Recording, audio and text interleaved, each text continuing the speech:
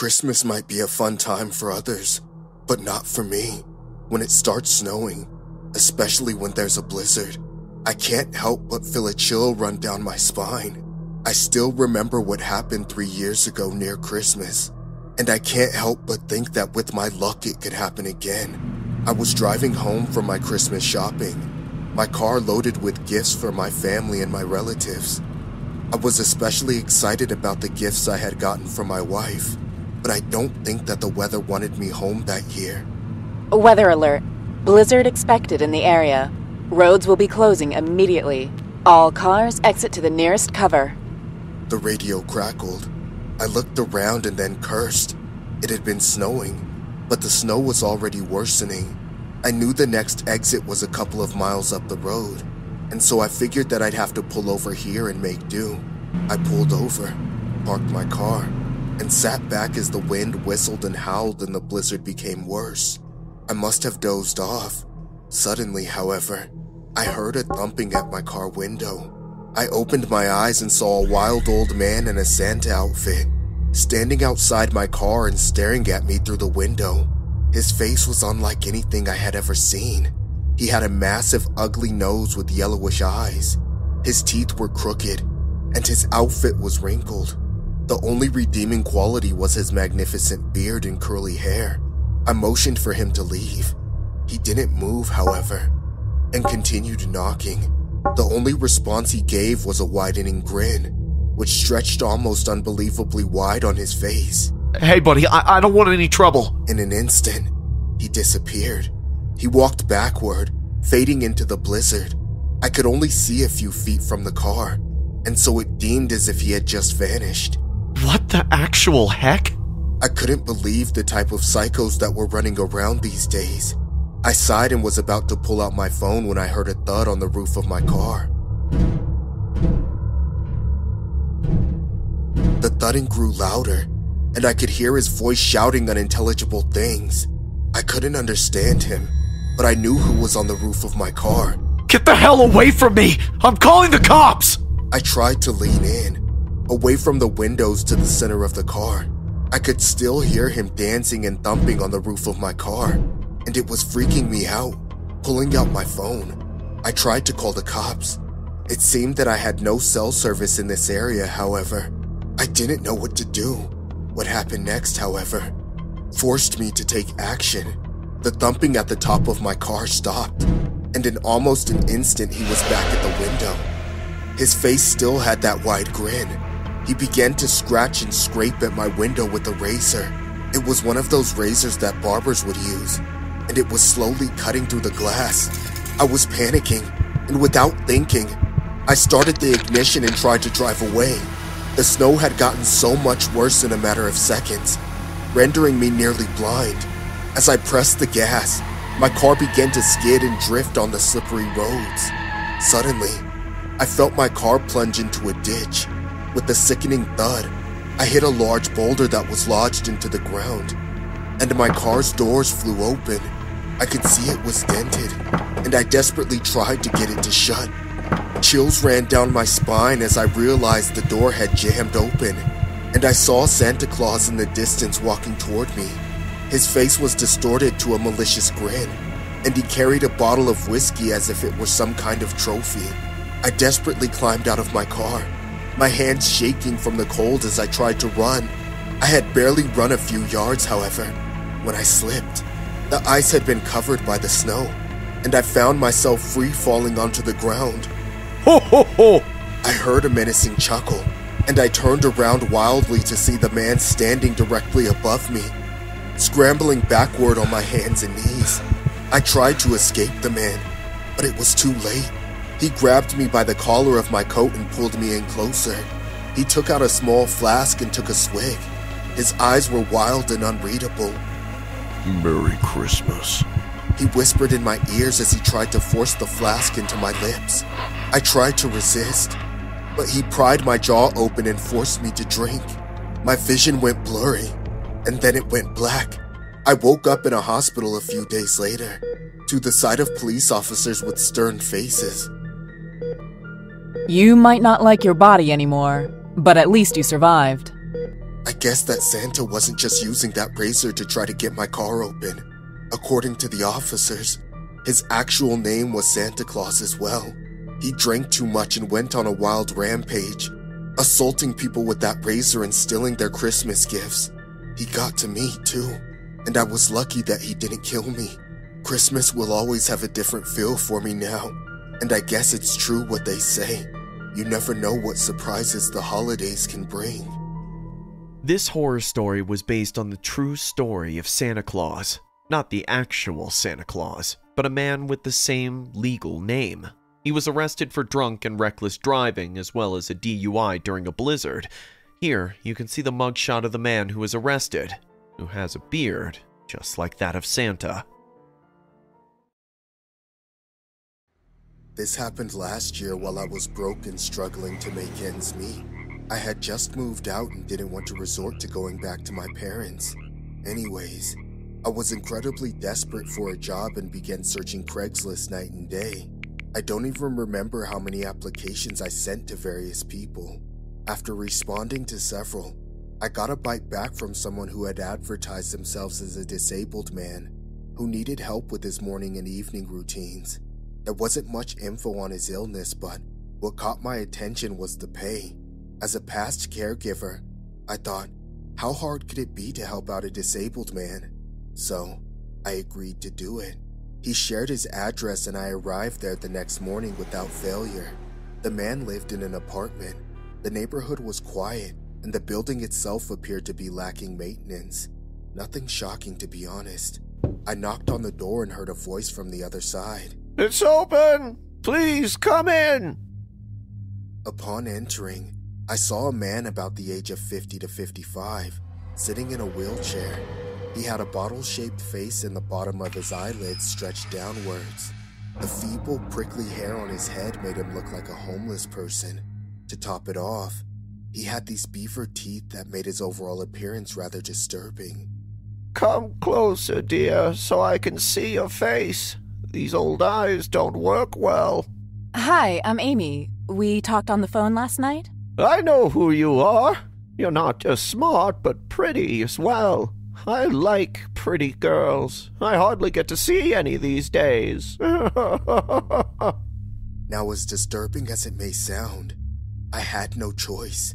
I was already there and I needed his money. I put my jacket on the hook and asked, So, what do you want me to do first? How about we start with a bath? I haven't taken one in weeks. Oh, damn. That's bad. But I knew what I was stepping into, so I grasped his wheelchair and started taking him to the bathroom. Do you live alone? I do now. My wife died three months back. She was the nicest woman. Oh, I'm sorry, Mr. Call me Daniel. Um, okay, Daniel. Once we were inside the bathroom, I saw a tub filled with dirty clogged water. The sink was so bad that I almost vomited. I'm sorry for the mess. My legs don't work anymore, which is why I'm unable to clean the apartment. Well, you should hire help for that too. Yeah, I'm just learning to use Craigslist, so maybe next time. Isn't it amazing what you can do on the internet? I mean, you can meet anyone so easily. Yeah. Please take off your t shirt so I can start with the bath. He grinned and took off his t shirt. It was surprising to see so much chest hair on his body. I poured the body wash on his back and started scrubbing it with the loofah. it tickles. it was getting extremely irritating as he spilled water and soap everywhere, even on my clothes. Okay, we're done here. What? Really? But I was having so much fun. Your hands are so soft. I washed my hands and threw a towel at him. Your hands work, right? Dry yourself off, Daniel. That little movement will be good for your health. He gave me an angry stare and then did what he was told. After the bath, I helped him get dressed. Here, he also stared at me the entire time and kept smiling like a creep. I took him to the dining table and went to make him some food. I cooked enough pasta for him to live off for the entire week.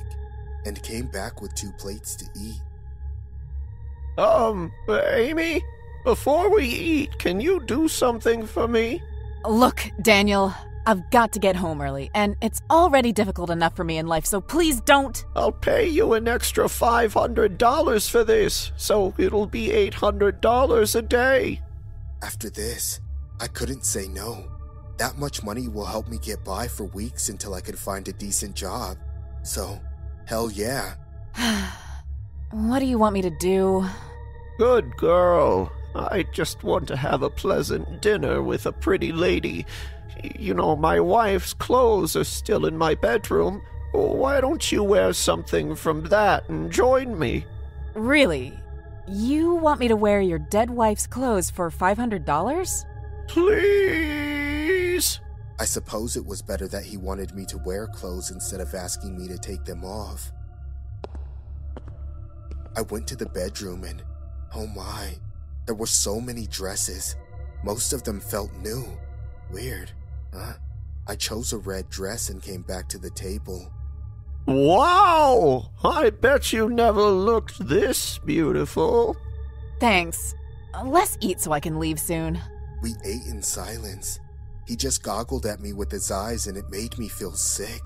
But I needed the money, and as long as his hands were away from me, it was fine. I finished dinner and changed back into my clothes to leave. While giving me the money, his filthy hands brushed against mine. Pervert. I started walking to the door when he called out to me. Amy, one last thing. What now? I looked back in frustration and he suddenly got up. He grabbed his Polaroid camera from the shelf nearby and said, Do you mind if I take a picture of you, Amy?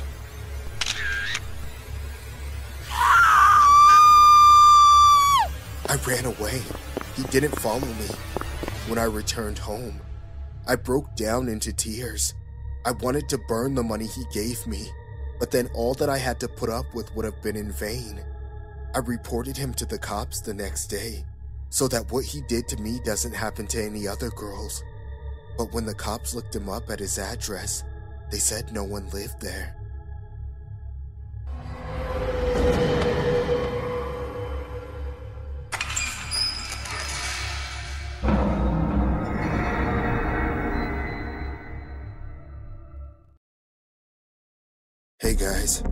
Name is Robert.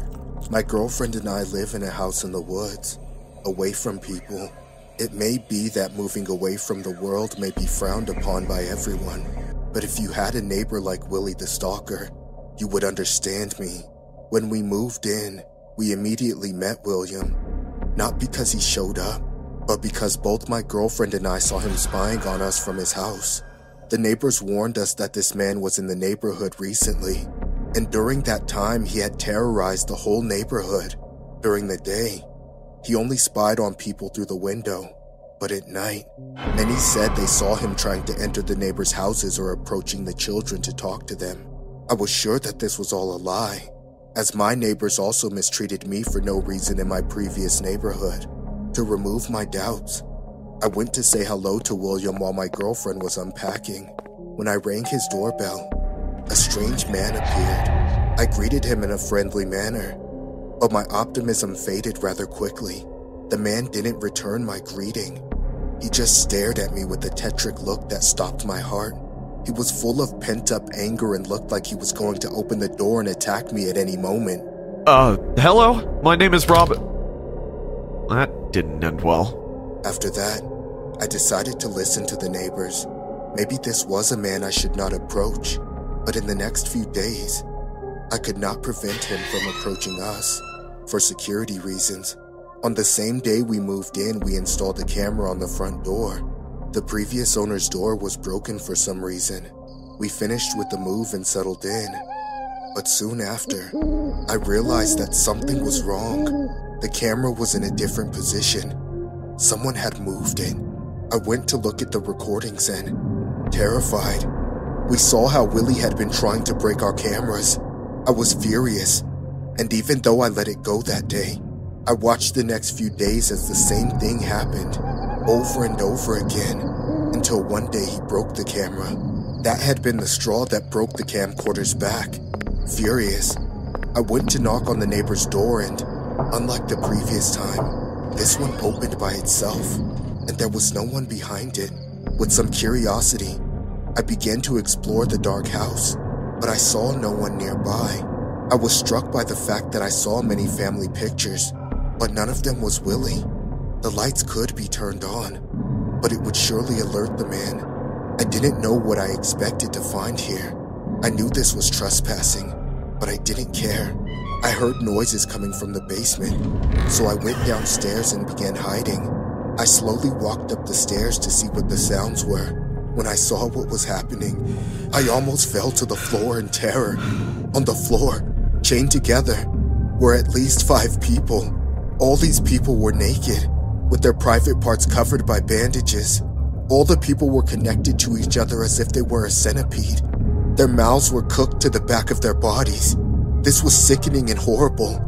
It was just like that movie. Have you seen the human centipede, Robert? Behind me, my neighbor stood with a sickly but shy smile, proud of what he had done. Isn't it beautiful? The movie inspired me to do this. The guy from the second movie was a rookie, but I am a doctor like the guy from the first movie. I can do this, and it's fascinating. Who are they? Oh, didn't you see the pictures on the way over?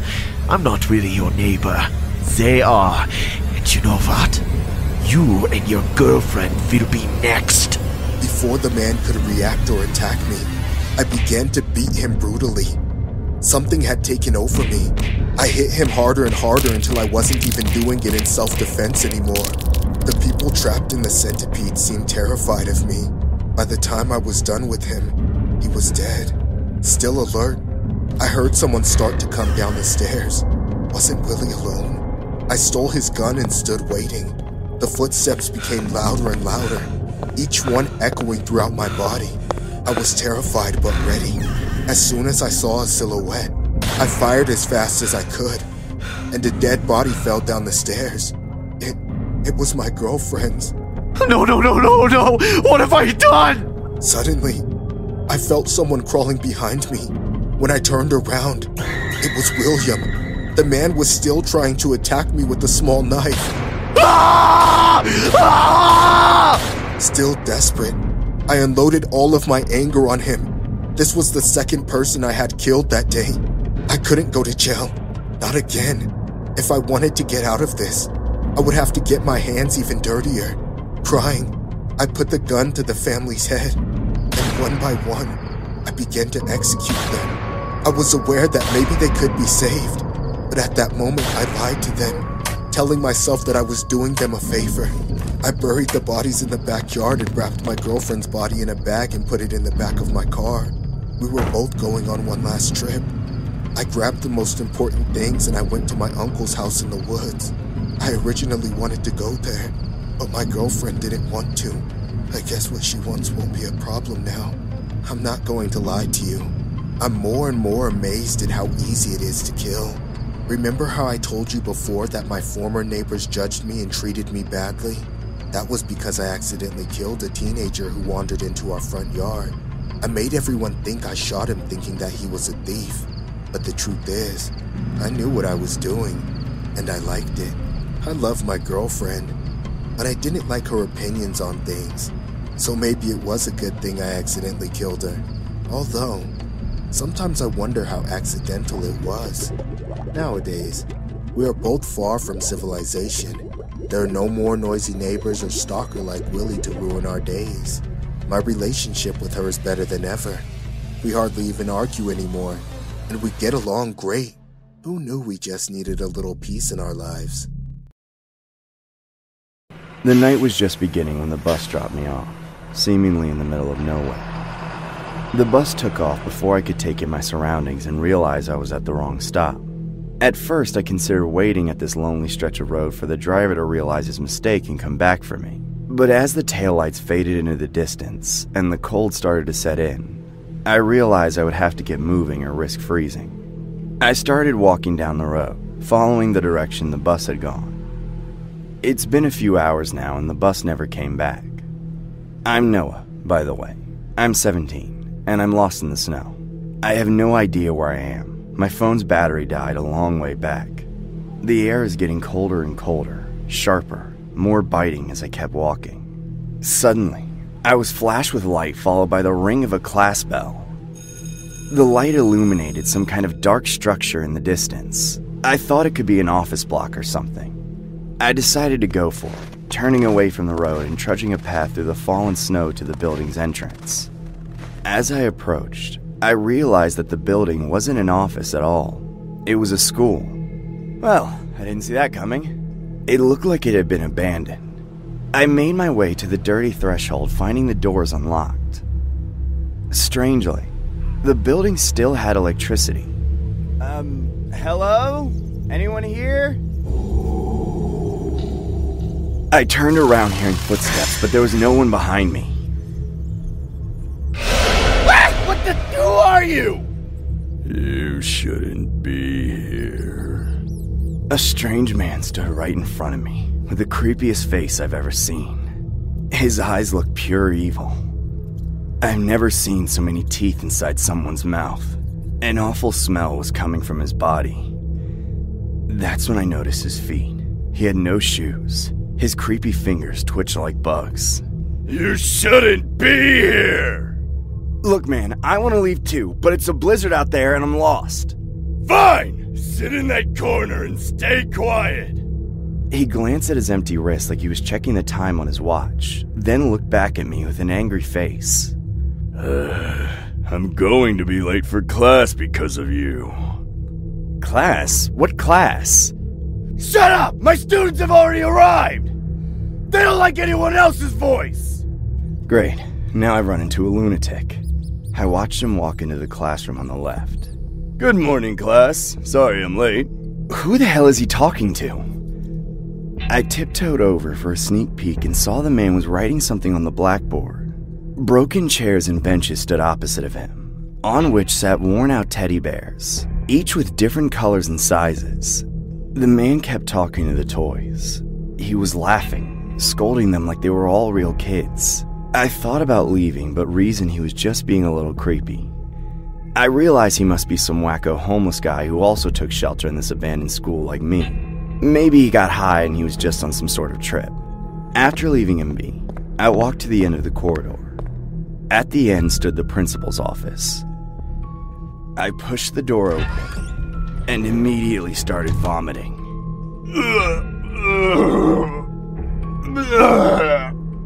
The foul smell of something rotten choked my lungs. The room was filled with kids' diapers. Yes, use kids' diapers. I don't know how they all ended up in that room, but it was enough to convince me to go back to the highway. I turned around coughing and started running towards the door. Suddenly, the man came out of the class and grabbed my collar. He lifted me in the air and looked into my eyes. I told you to leave. Why did you go into my room? Are you incapable of following rules? What the hell is wrong with you? Put me down, You're crazy! He threw me in the air. I landed on my chest and hurt my knees. The man then lifted his leg to stomp on me. I hate bad kids! Bad kids need to be punished! Ah! Ah!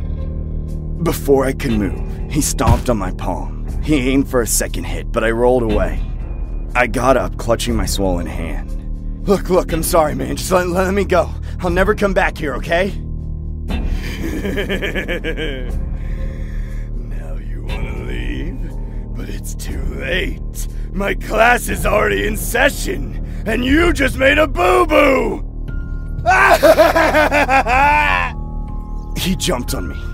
I tried to run, but he grabbed my leg and dragged me into the principal's room. Time to change your diaper. Don't worry, I have lots of clean and fresh ones. ah! No! Let me go! Leave me alone! Just then, the class bell rang again. The man stopped abruptly. He let go of me and again looked at his invisible watch. Well, lunch break's over. Time to get back to class. Acting like nothing happened, he completely ignored me and went back to teaching those teddy bears. I got up, Without wasting a single second, I ran past the door and escaped back to the snowy streets. I lumbered through the thick snow as if I were a prisoner who had just made a jailbreak. I fell, stood up, and then fell again, but I didn't stop. When I was approaching the highway, I saw headlights heading towards me. When the lights came close, I identified it as a pickup truck. The driver stopped and gave me a lift. Whoa, you don't look so good. What happened to you? Please, just drive! Drive! Okay, okay. Once we were finally away from that abandoned school, I told the man everything. He gave me some warm coffee from his flask and took me home. My parents were worried as hell. My dad thanked the truck driver and offered him some money for driving me all this way. The man refused to take it and warned me to be more careful next time. Before going in, I asked the man, Who lives in that abandoned school? Well, no one lived there for a while. But for the past few weeks, people have been seeing this crazy guy spending the night there. He used to be a teacher at a local school, but the school caught fire one day. No one escaped the blaze alive except him. Not even the kids. Oh my god. Yeah. People say a lot of things about how sick he is. Some even caught him stealing dead kids' toys from the cemetery.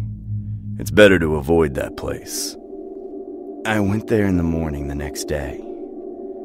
But surprisingly, the entrance door was locked. I searched the area, but I didn't find any traces of that man.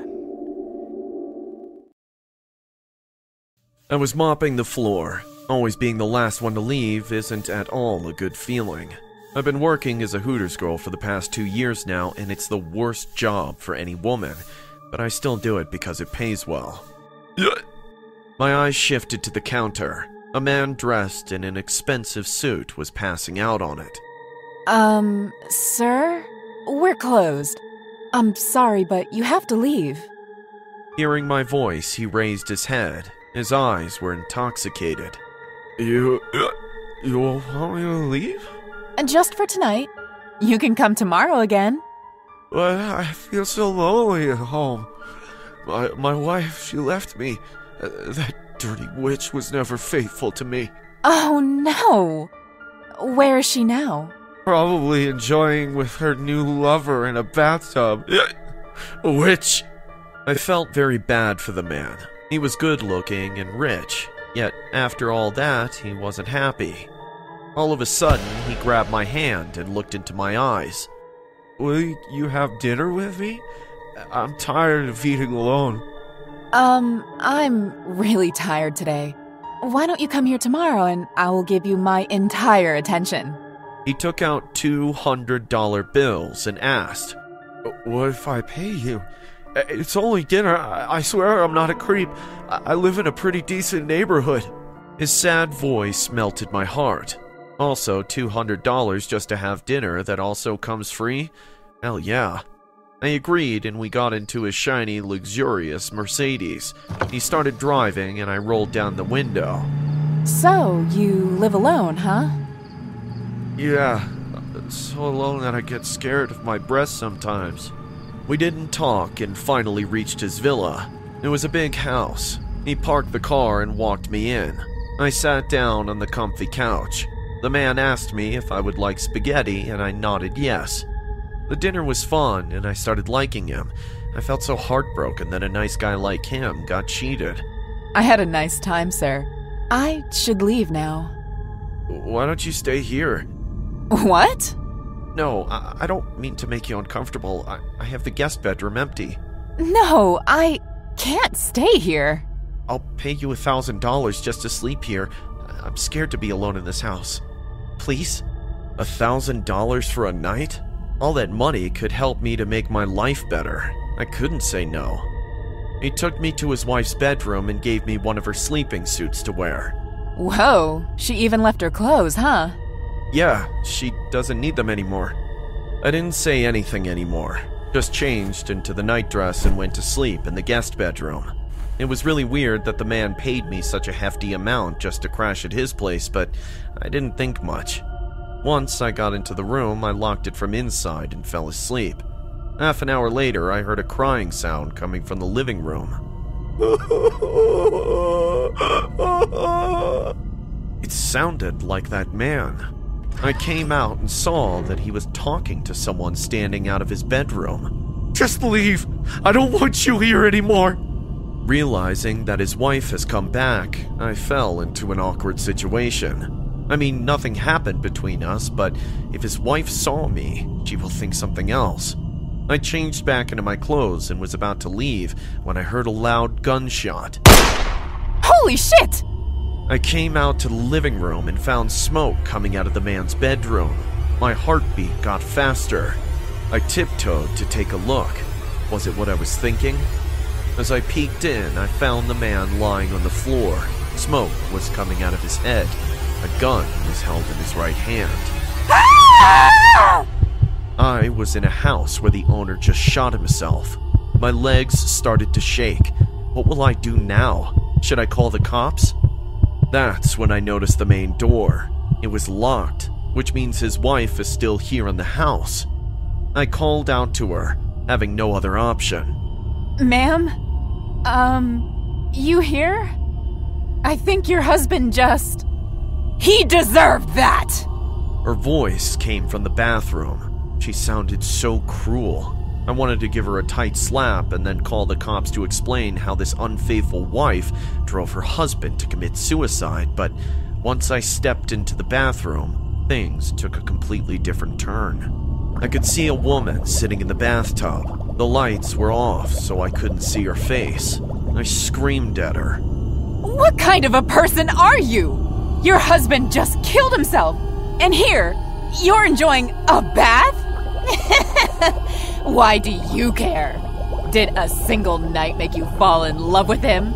Shut up! What do you know about love? I'm calling the cops and I'll tell them how you're the one responsible for his death. Hmm. Go ahead. I was stunned to see her reaction. It was like she had no fear, no regret, no shame. I dialed 911 and my hands automatically went to the light switch. I wanted to look into her eyes and tell her what kind of a pathetic human being she is. But once the lights hit the bathroom floor, my phone fell from my hand and shattered. In that bathtub lay a bloody body of a woman. Her neck was slit and her eyes were looking directly at me. The water in the tub was all red with her blood. If she's dead, then, then who was I talking to all this time? Who did this man talk to a few moments back? I picked up my broken phone and ran the hell out of that house. It was now clear to me that this man killed his wife hours back and came to Hooters to drown himself in sorrow. But the fact that somehow he was seeing the spirit of his wife gave me goosebumps. Maybe that's why he asked to stay the night with him. He was not lying. He was scared to be alone in this house with the dead body of his wife.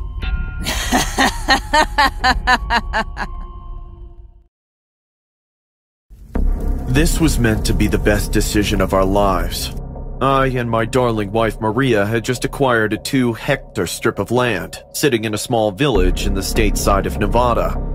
We had always craved to experience life in the country, and seeing as she was due in three months, it seemed like the best time to make the move. The property came at a steal price, and to make things even more interesting, the realtor said it already had a cornfield on it. It was too good to be true.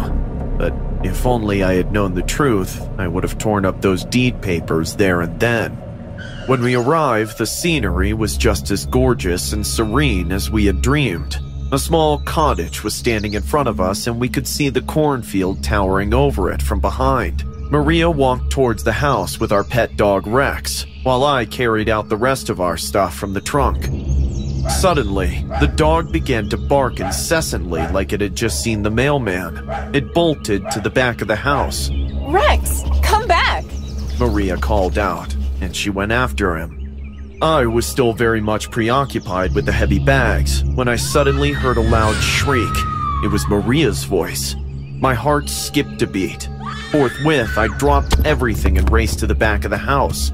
Upon reaching there, Maria was panting heavily with her hand on her chest, while Rex seemed a lot more docile. What is it? I hastily asked. Oh, I'm sorry, honey. I was just frightened by the scarecrow. Maria responded. The what? I muttered to myself. Upon lifting my eyes, I was also left traumatized by the most disturbing and hideous looking scarecrows I had ever seen in my life, and they were pegged all over the cornfield.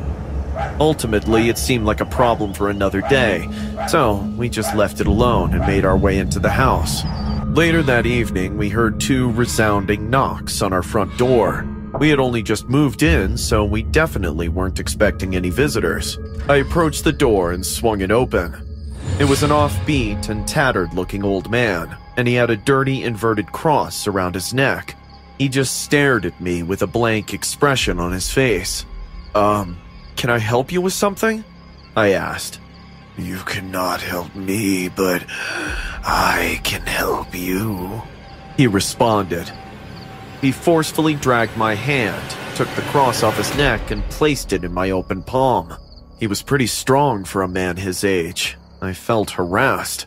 I immediately retracted my hand. Hey, get your hands off me! I barked in outrage. There's no time to waste, son. The harvest is almost upon us.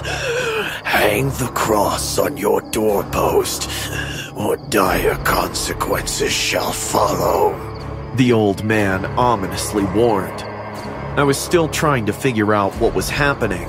Before I could ask any questions, he turned and fled into the darkness.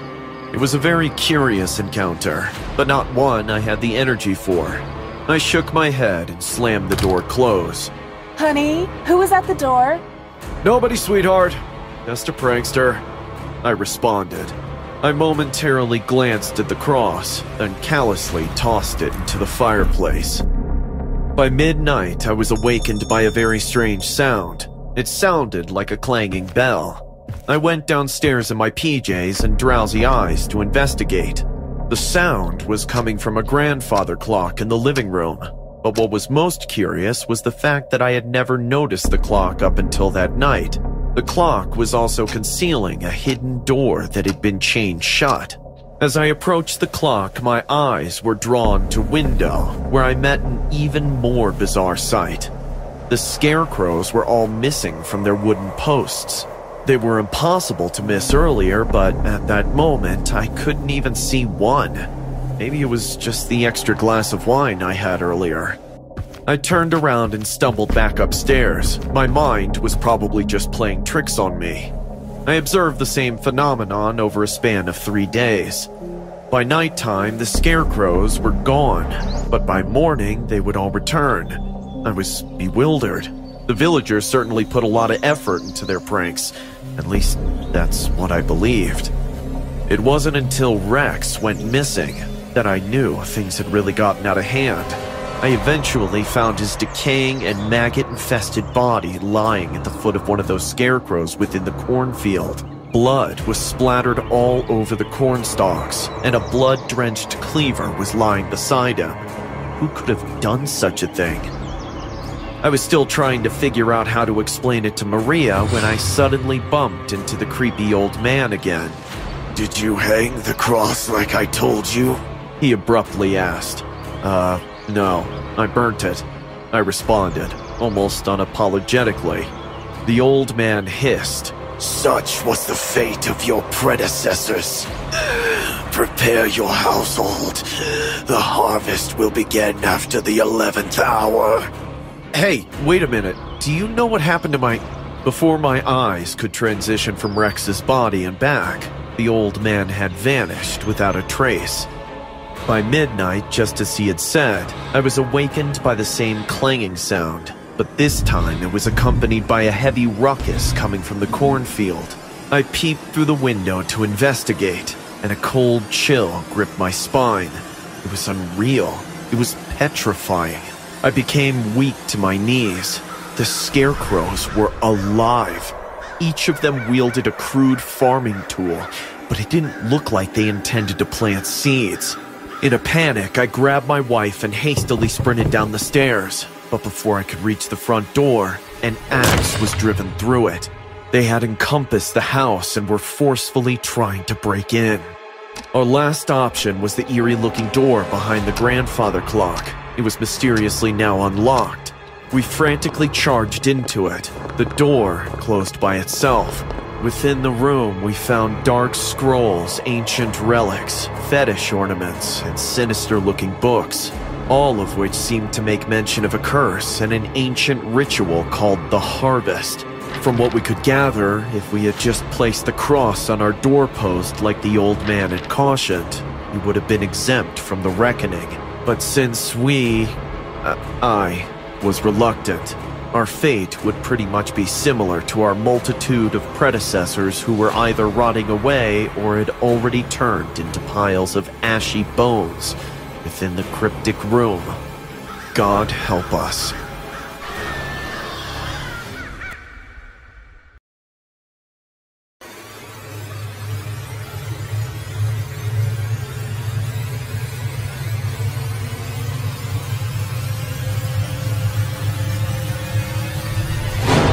That was scary! Hi, my name is Alex, and that video you just saw wasn't just from a random haunted movie theater. It's the place that just hired me. It's no coincidence that I got a job there. I'm a big fan of the paranormal, and that place is known to be haunted, so no one wants to take the vacancy. I, for one, am a big fan of the occult, so I couldn't pass up that opportunity. You could say that my first day on the job was almost my last, as the day didn't start off well at all.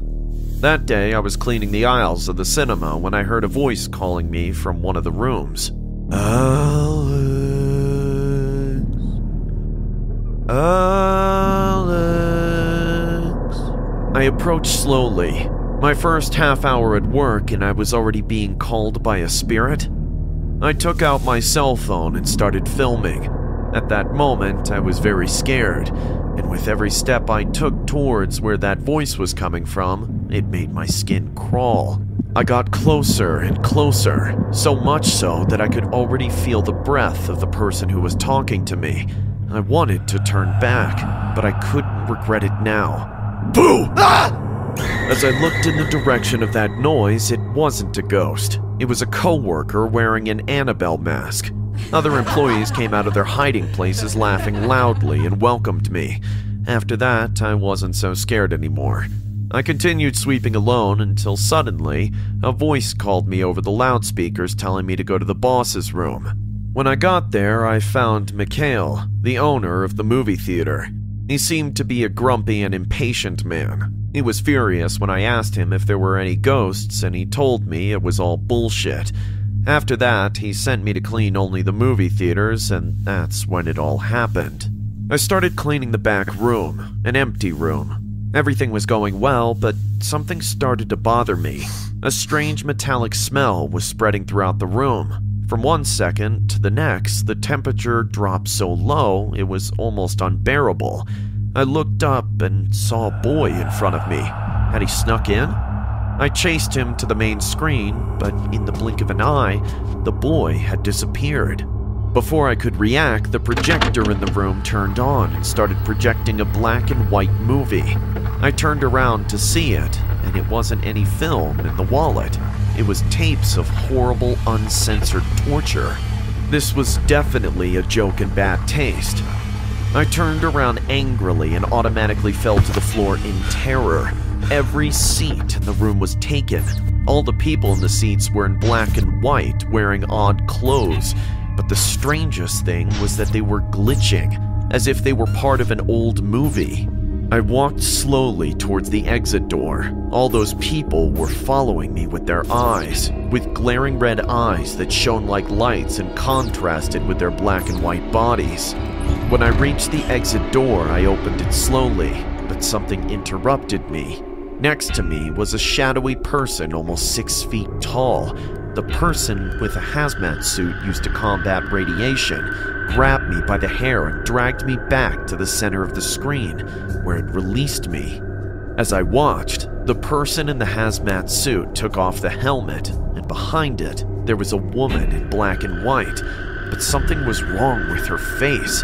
Half of it was burned off. You could see pieces of flesh and even a skull. It was as if she had a horrible acid accident. Without the slightest contemplation, the woman pulled out a small scalpel and threw herself on top of me. When I tried to react, it was too late. The woman was cutting open my belly and pulling out all my guts while the audience watched in amazement and applauded. Suddenly, the door opened violently and someone came walking towards where I was. It was my boss. Sir, run! The ghosts are real! Oh, I was looking for you. Out of nowhere, my boss grabbed the disfigured woman's face and pulled her close to his. The man began to kiss the girl passionately. As he turned around and looked back at me, something in him had changed. His lips were disintegrated, and there was a huge hole in his throat as if he had swallowed lava. What are you doing lying there on the floor? Bleeding to death like a good for nothing? You are useless! I knew I couldn't trust you. I should have never hired you! At that moment, I looked down at my body. I was unharmed. I had no wounds. I stood up and ran to the exit door, where some coworkers tried to scare me again. But this time, when they saw my face, they were the ones who were scared. A few minutes later, I was taken to the boss's office, and there I met him. He was not the same boss I had met before. He was much younger and more caring. He told me that this place is haunted, and that is why the movie theater remains attractive to teenagers. He also told me that this place used to be not a movie theater, but a clandestine place used in the war to torture people. Many wealthy citizens would come and watch this sitting down as if it was a show. And the man who claimed to be my boss was the owner of the place, while the lady in the hazmat costume was his wife, who died in a fire while torturing a little boy. From that day on, I strictly followed all the rules of the cinema. I never had to interact with any ghosts, and in case I cleaned up alone and felt cold or had a strange smell, I had to leave. If I followed all the rules, I didn't have to be afraid. This was just another job. Hey guys, my name is Leon, and my girlfriend's name is Ashley. We were both on a trip to my parents' house, but I must admit that by trying to take a shortcut, I got us lost. It was getting dark and we had to spend the night in a motel, so I stopped at a gas station and asked where there was one. The man at the gas station was just terrifying. His face was completely deformed. The only eye the man had was pure white. I could swear the eye was plastic, but somehow he could see us. The nearest motel is a few miles away, strangers. But be careful. God is more present than ever in these lands. His eyes will be upon you at all times. Uh, sure. Thank you. We both continued on our journey, and as the terrifying man said, the motel was only a few miles away. I didn't want to probe into what he meant by bad habits. I just wanted to get away from him as fast as possible. When we entered the motel, the owner, who was sitting motionless in his chair, seemed nice enough, but something disturbed us. His smile was dark, almost obsessive. Although we were very well taken care of, we felt that we didn't belong there. But we couldn't continue driving at night. The road was complicated. I was sleepy and Ashley didn't know how to drive. We went into the room and left our things, but we couldn't help but feel watched. I walked quickly to the curtain and violently opened the window. A silhouette came out desperately. Someone was spying on us. I didn't get to see the person behind the curtain. I only saw how a part of his silhouette was walking calmly as if nothing had happened. I hate this crappy motel. Just let's go to sleep. Let's lock the door and close the windows. Yeah, we'll leave in the morning. Ashley fell asleep pretty quickly. I could tell she was more tired than I was. Even though I was very sleepy, I just couldn't sleep. I felt watched. I felt that someone was close to us. Suddenly, I heard a noise inside the room. It wasn't a person, it was a metallic noise. I woke Ashley up and turned on the lights. We started looking for where the noise was coming from. It was a camera. A camera was spying on us from a vase. We kept looking and found cameras everywhere the walls, the furniture, even a screw on the bed. Furious, I told Ashley to stay in the room and went straight to the owner's room. I told him everything that was going on with enormous anger, but something about his smile made the anger go away. He just looked at me happily with a twisted, macabre smile. As he listened to me, I was shaking.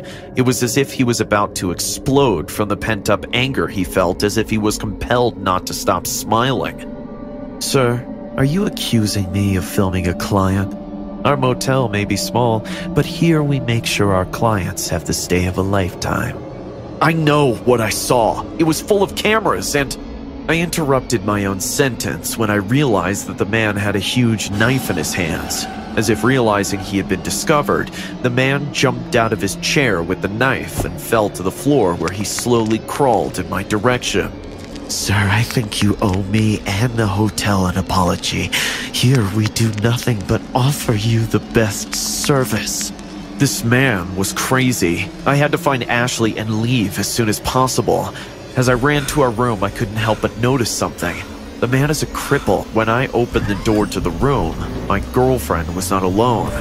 The man we had met at the gas station was grabbing Ashley's neck and holding a knife to her throat. Leon! Help! Let her go! You shouldn't have broken God's eye, strangers.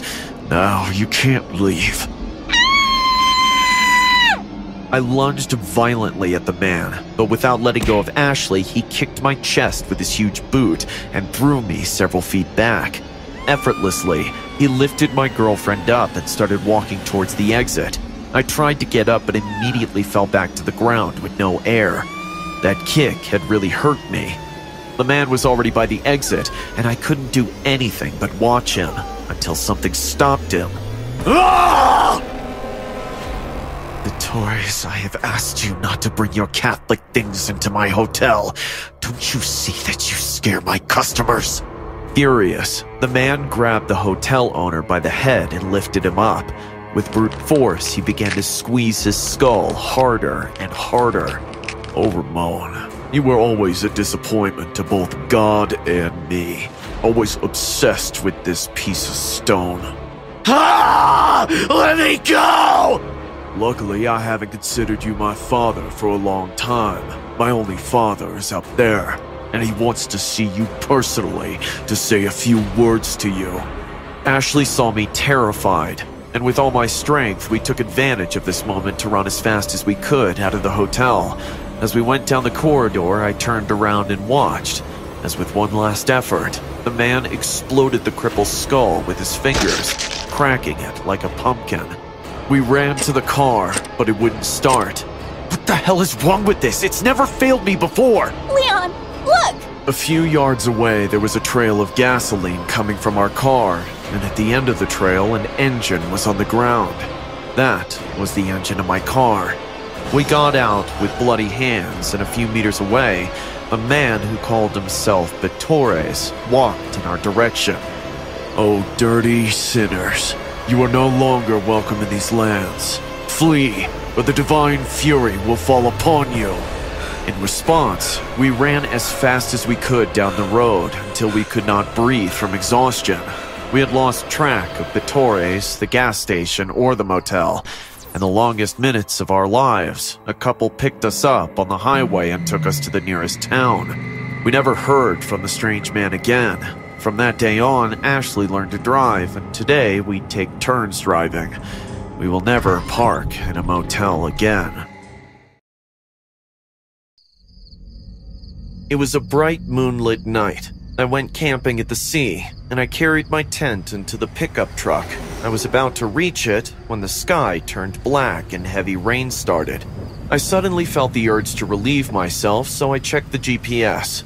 The destination was near, hence I parked the truck under a palm tree and got down to do my business. The headlights were on.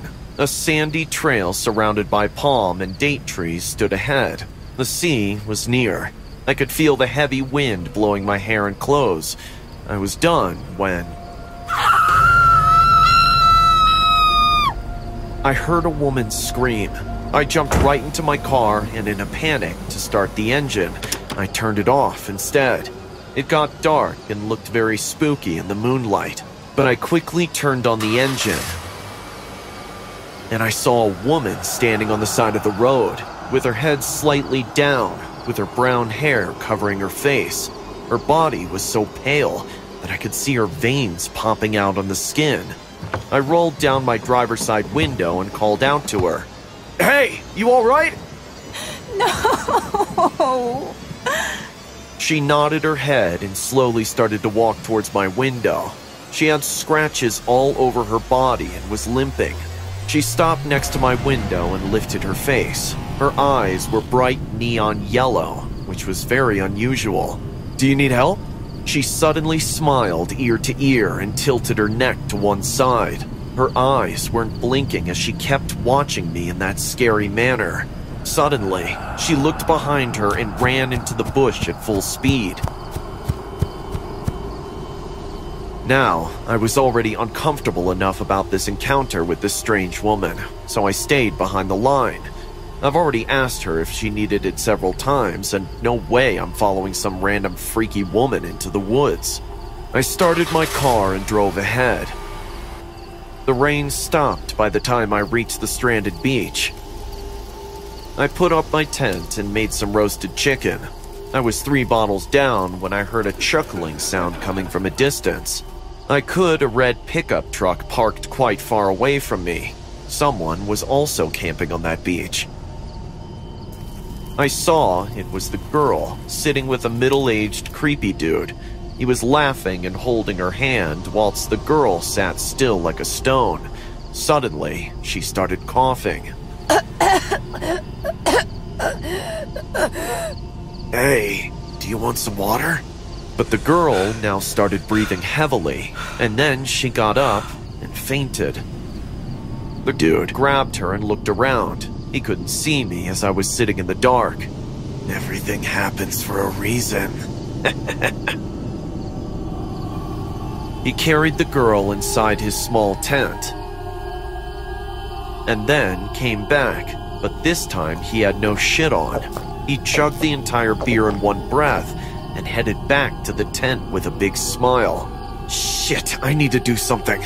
I realized the man was going to abuse the poor girl, taking advantage of her physical condition. I grabbed a hockey stick. I always bring one on my camping trips. I started walking towards the red pickup truck. My hands were tightly gripping the hockey stick. Any weird occurrence, and I won't hesitate to use it. Just when I reached close to the tent, I heard a squinching sound, followed by loud chewing. Not being able to see anything in the dark, I turned on my flashlight and pointed it inside the tent. The middle aged shirtless creep was now lying lifeless, and the girl was sitting over him and eating his flesh. Her eyes were glowing like a hyena. She ate like she hadn't eaten in years. I was too stunned to move, but then she slowly lifted her head and looked at me. Her blue eyeballs were now gloomy white. She moved her head from left to right, but she couldn't see me. It was like she lost her vision. Her mouth was smeared in blood, so were her hands and clothes. I took a step back to leave and accidentally made a sound. Within a second, she lunged at me, letting out an animalistic growl. I fell back on the soft sand and the girl grabbed my leg. She then went to bite it, but I kicked her in the face with the other leg to get rid of her. The kick broke her nose, but yet she kept crawling on the sand. I finally realized that somehow this girl has turned into a zombie. I ran back to my truck and drove off, leaving my tent behind. I just wanted to get the hell out of that place. I came back to the same path where I stopped to pee. I looked at the side of the road where I first saw the girl. Now, two men were sitting in crouched positions. They were eating a dead deer. Somehow, the lights didn't affect them. I honked the car horn and they looked at me almost immediately, so they only heard sounds. I started the car engine to drive past when suddenly a group of ravenous, insane human like creatures appeared from the side of the road. Their face and their body all were mutilated. Some had hands but no legs. And some were walking like dead bodies. What's happening? They all were coming to my car. I knew if I don't drive away now, this swarm of zombies will turn me into them. But what will happen if I left? They will grow more, it'll be the end of the world. The only way out is to finish them before I go. An idea came to mind. I had three jars of petrol hoarded before the long drive. I drove the car over each zombie before it could come close to my car. I lost count of how many times I ran over them again and again. When there was none left, I sprinted petrol all over the meaty mess and set it on fire. I watched all those infectious humans turn to dust. Maybe they came with the wish to spend a holiday at the beach, but something changed them. It turned them into brainless monsters who only crave meat, who are always hungry. I've never seen that girl, and so far no reports of infections or contagious diseases have been reported in the news. The year is 2019 now, and I hope 2020 will finally be able to erase the horrible memory of that night from my mind. I just hope someone from the future could come and assure me that 2020 is going to be a good year.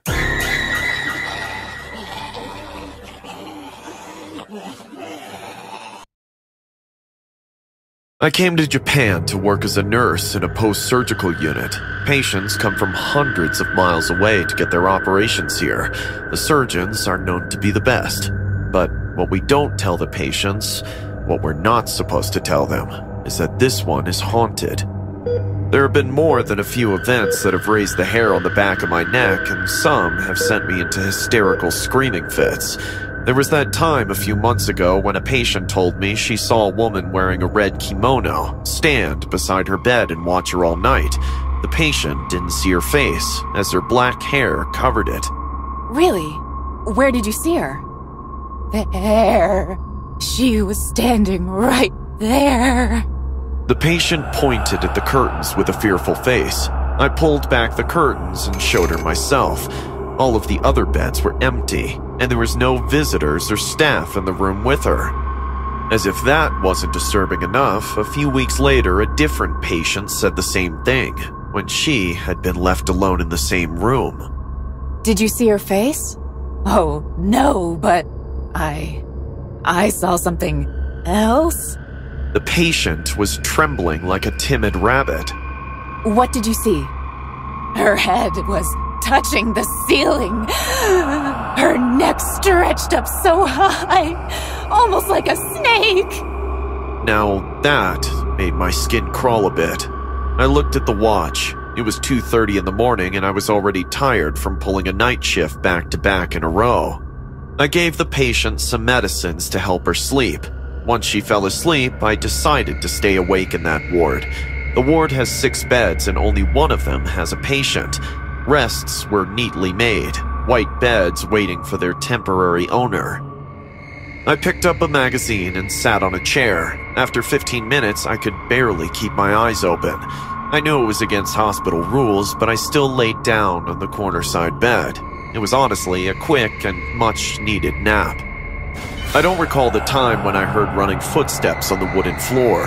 I got up thinking someone has come, but found no one. The ward was empty like before. The one patient was now snoring. Um, hello? Is anyone here? My senses sharpened once I heard a woman's chuckling voice. The door was closed like I had left it a few moments back. This proves that the chuckle took place inside this room. Mrs. Tanaka? Are you sleepwalking again? I couldn't turn on the lights as it'll wake up the ailing patient. The night lamp wasn't enough, so I switched on the flashlight on my phone.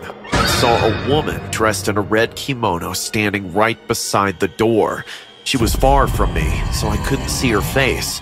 But one thing I could tell was that she was staring at me with an ear to ear smile. Ah! Oh, God! A sudden call from my mom almost gave me a heart attack. Hi, Mom. Why are you still awake? Coco, are you alright? I'm perfectly fine, but why are you asking me this in the middle of the night? I. I had a very bad dream. Where are you? I'm at the hospital, Mom. Where else would I be? It's my night shift. Again. Did you say night shift? Yeah, why? I just saw you dozing off at your night shift and you were being watched by this strange woman. She wore this red kimono and was. Before my mom could finish her sentence, the call got disconnected. The phone dropped off from my shivering hands. With a slow, erratic heartbeat, I turned around where I saw the creepy woman a few seconds back, but she was gone. Uh, hello? What do you want? My eyes searched the entire room, but the woman was nowhere to be seen. Suddenly, my phone lit up once again. It was again my mom calling. I crouched down to pick up my phone, and accidentally, my eyes went towards the patient's bed. I could see a pair of red feet peeking under a red kimono. I jumped and looked above the bed. There was no one. What? Is this a nightmare? By now, I have started to lose my mind. I just saw a woman's feet under the bed, but when I looked up, there was no one standing beside the patient's bed. I crouched down once again, and now again, I saw those bare feet. The nails on the big toes were missing, revealing the red, puffy flesh underneath. I froze in that position. I was scared to look up when suddenly the feet started rotating to the back. A loud, horrifying sound of bones breaking took place with each movement of them. My voice died down in my throat. I knew what the patients kept saying about this ward is true, and I might not probably make it out of this room alive tonight. Just when I was on the verge of crying, the woman's neck dropped and her head, her head started to roll down on the floor. Like a snake, her long neck stretched to inhuman lengths and started coming at me. I got up and started running towards the opposite side. I aimed for the door, but before I could get out, I tripped and fell. I laid on my back, knowing the laughter has come from a close distance. I didn't want to turn around, but I knew I have to. My head slowly arched back to catch a glimpse, and the woman's head was touching the ceiling. Her mouth was open, and blood was dripping from it. Her swirled, twisted neck moved side to side like a bobbing spring. I don't remember when I fainted. I naturally left that job at the hospital after my parents picked me up from the hospital. I was down with a fever. My grandma says Japanese people believe in this urban legend, which goes by the name Rokurokubi. They are said to be vengeful spirits roaming around at night. They love drinking their victims' blood, which made sense for her bleeding mouth. I don't know why she let me go or any other patient who stayed in that ward. There's still no news of her hurting anyone, but I guess she gets bored alone, hence decides to play with people for her entertainment. Whatever the reason may be, I'm never going near that hospital ever again.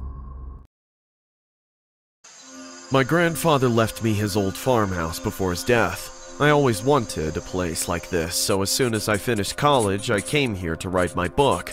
But the moment I stepped into my bedroom and I saw a huge, ugly bat hanging from my bedroom ceiling, I called out to the housekeeper, Carmel.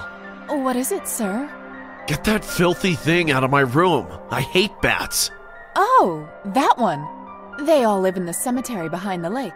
Must have gotten in from the window. Telling Carmel to prepare my dinner, I went to freshen up. When I came back, I found that the bat was gone. Finally, what a relief.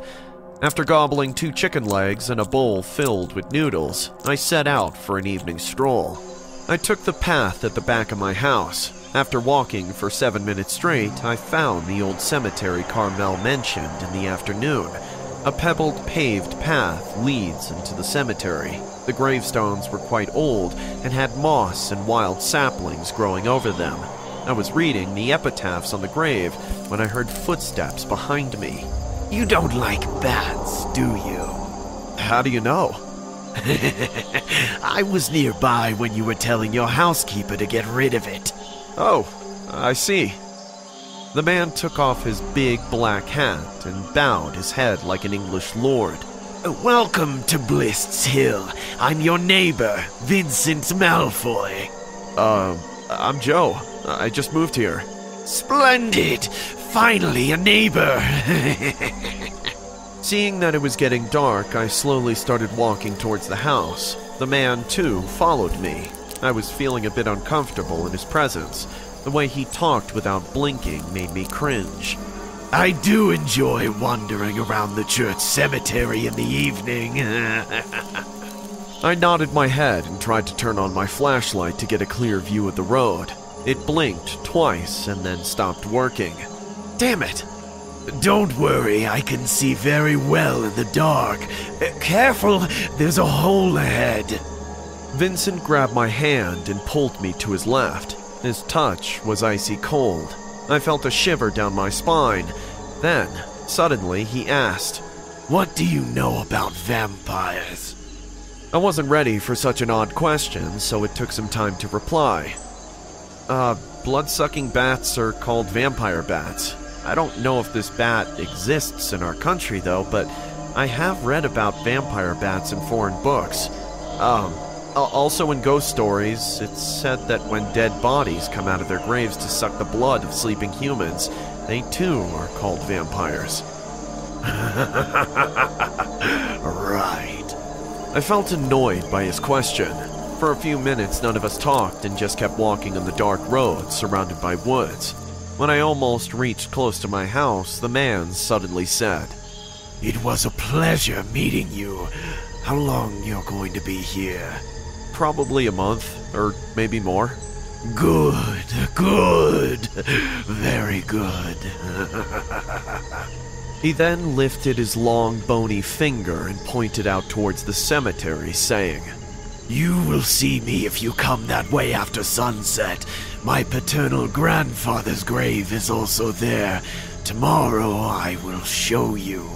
Flashing his yellow teeth once again, he disappeared into the dark woods. A coyote howled from the distance just then. That night, I had a weird dream. It was about Vincent Malloy.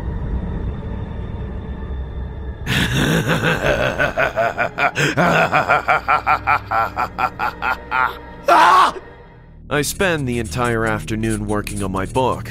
Around 5 in the evening, I went out for some fresh air. I had no wish to see Vincent, so I went the opposite way from the cemetery. But within five minutes, he caught up to me. Joe, wait! Ah, damn it. I tried to walk away, but he was so quick. He stopped right in front of me, blocking my way. Did you sleep well last night? Why does he always ask the weirdest questions? I started walking, saying, Yes, I did. Good. good, very good. I can't sleep at night. I sleep during the day and wander around all night. I see. This cemetery is my favorite place. I feel so fascinated to think about all the dead bodies buried here are sleeping for decades, but they don't enjoy being in a box. I often hear them weeping at night. All they want is to come out and be alive again. I couldn't tolerate his useless rant anymore. Look, Voldemort, or whatever your name is, I have no time for your moronic bullcrap, so just leave me alone, okay? I went to my house and for one last time turned back to see if he was following me. He didn't. He just stood there with a cold, expressionless face, his eyes glowing in the dark. Once I got home, I laid down on my bed thinking I'd had to tolerate this jackass neighbor for months now. I must have dozed off when a pair of wings flapped over my head. Opening my eyes, I saw a huge bat hanging from the ceiling, staring down at me. Its green, burning eyes made my skin crawl. Without taking my eyes off the creature, I reached for my hardbound notebook on the bedstand. Within two to three seconds, the bat jumped, aiming for my throat, flashing its sharp fangs, and I hit it with all my strength. It flew away from the window, landing in the backyard. At the very next moment, I heard the sounds of rustling footsteps fading away. When I looked outside the window, I saw no one. The bat was nowhere to be found. The next morning, I woke up hearing chaos outside my house. Few local people were carrying Vincent Malloy on their shoulders. Vincent's forehead was covered with clotted blood. When I asked what happened, one man said he might have fallen from the tree and cracked his head. What was he doing on a tree? This man is one crazy wacko. He loves climbing the tree and hanging upside down. Just like. just. just like a bat.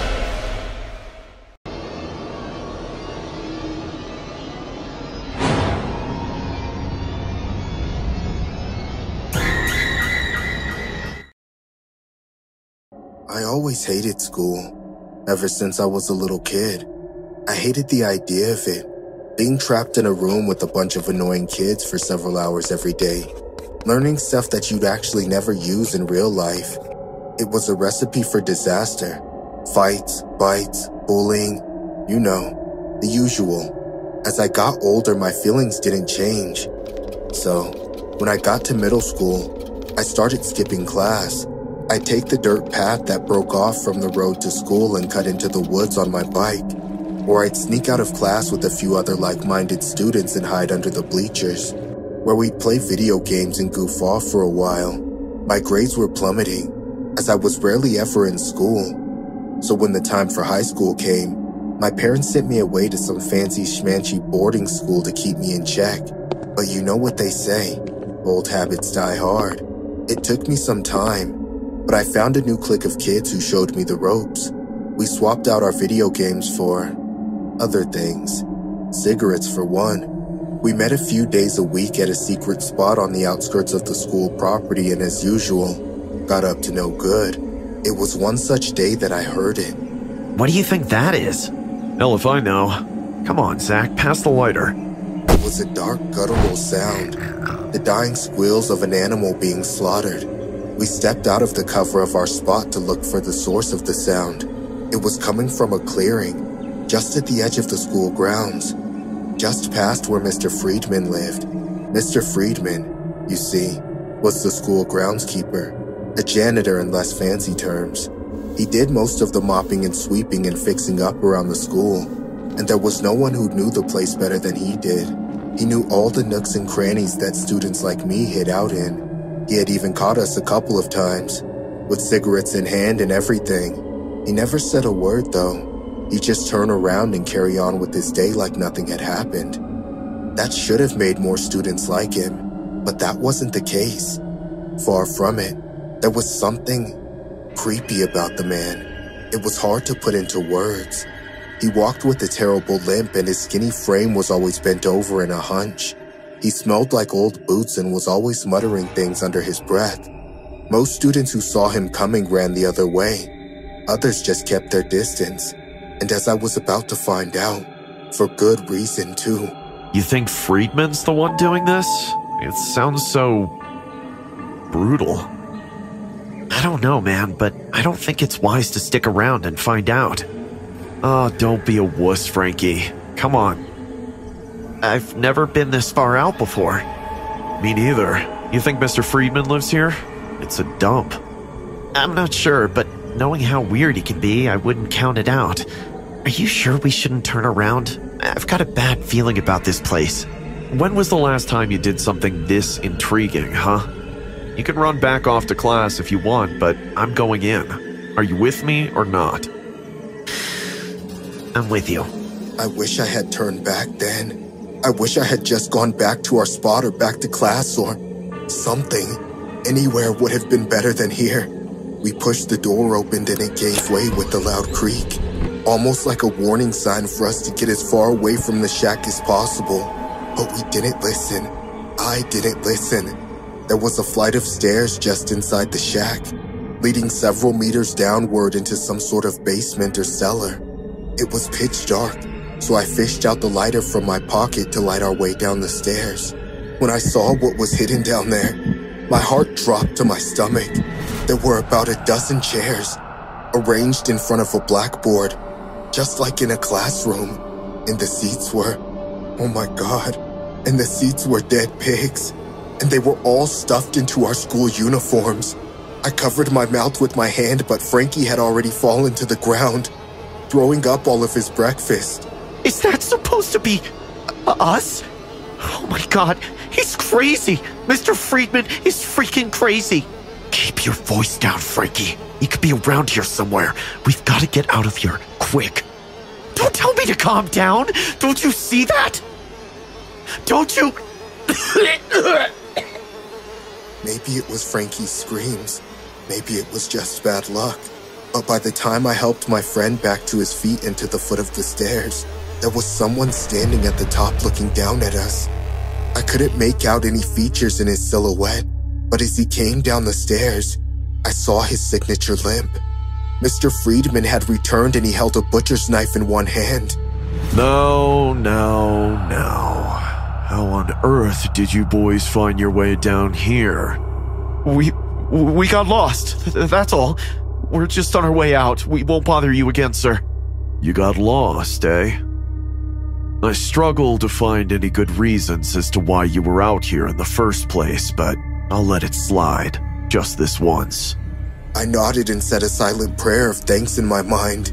I tried to drag Frankie out behind me, but my friend had other plans. You psychopath! Frankie reached out for a stretch of wood that was propped up by the corner and swung at Mr. Friedman. But the man caught the stick and pushed Frankie into the wall. All you had to do was stay quiet. He picked the stick up, and in a moment I'm not proud of, I ran.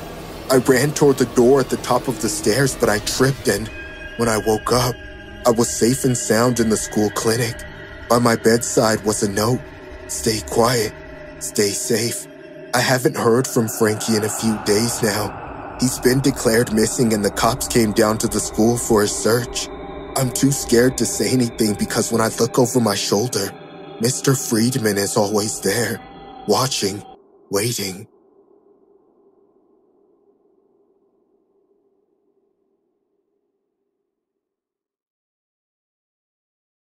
I don't think that I'll ever work again. Let me tell you why. My name is Anna, and I'm experiencing one of the most traumatizing moments of my life. It started a day ago when I looked through the papers for a new job. I live in government housing and I was unemployed, so a listing quickly caught my eye. Set assistant, it said. All I had to do was call in and give my name and address, so I did. Hello, I'm calling about the set assistant position. Is it still available? Hello, yes, it is. Can I have your name and address? It was a big mistake, but I gave the man on the other line my name and address, and he said I could start right away. He gave me the address of the warehouse, and I hopped on a bus to get there. When I arrived, the air was thick with the smell of mold and decay. The floor was littered with broken and discarded items. I had a feeling that this wasn't going to be the job I thought it was. The tall, imposing manager greeted me. As I looked upward, I couldn't help but feel off put by his appearance. His skin was a mottled gray and yellowed color, and his eyes were shaped like those of a snake. His very thin lips were curved downward, as if he was always frowning. You're the set assistant, right? Your job is to move furniture and props around when they're needed. Don't open any boxes. That's the number one rule. Okay, that makes sense. Still, I couldn't help but feel uneasy. But the manager was swift and brief with his introduction, and soon I was working. I hadn't even realized that he had followed me until he was right behind me, watching me move boxes and furniture around. As the hours dragged on, the manager left me to complete my work and disappeared entirely. As for the boxes that I had to move, they kept getting heavier and heavier till I was straining with each step. I felt like I was being watched and it made me uncomfortable. I couldn't help myself. I probably would have been safe if I hadn't, but you understand that I'm a curious person, and I needed to know what I was moving. And so, I opened one of the boxes. Some packing peanuts spilled out, I recoiled from the smell, which drafted upward out of the box, a rotten and sickly smell. And then I saw it a hand, rotting and mangled, sticking out of the packing peanuts.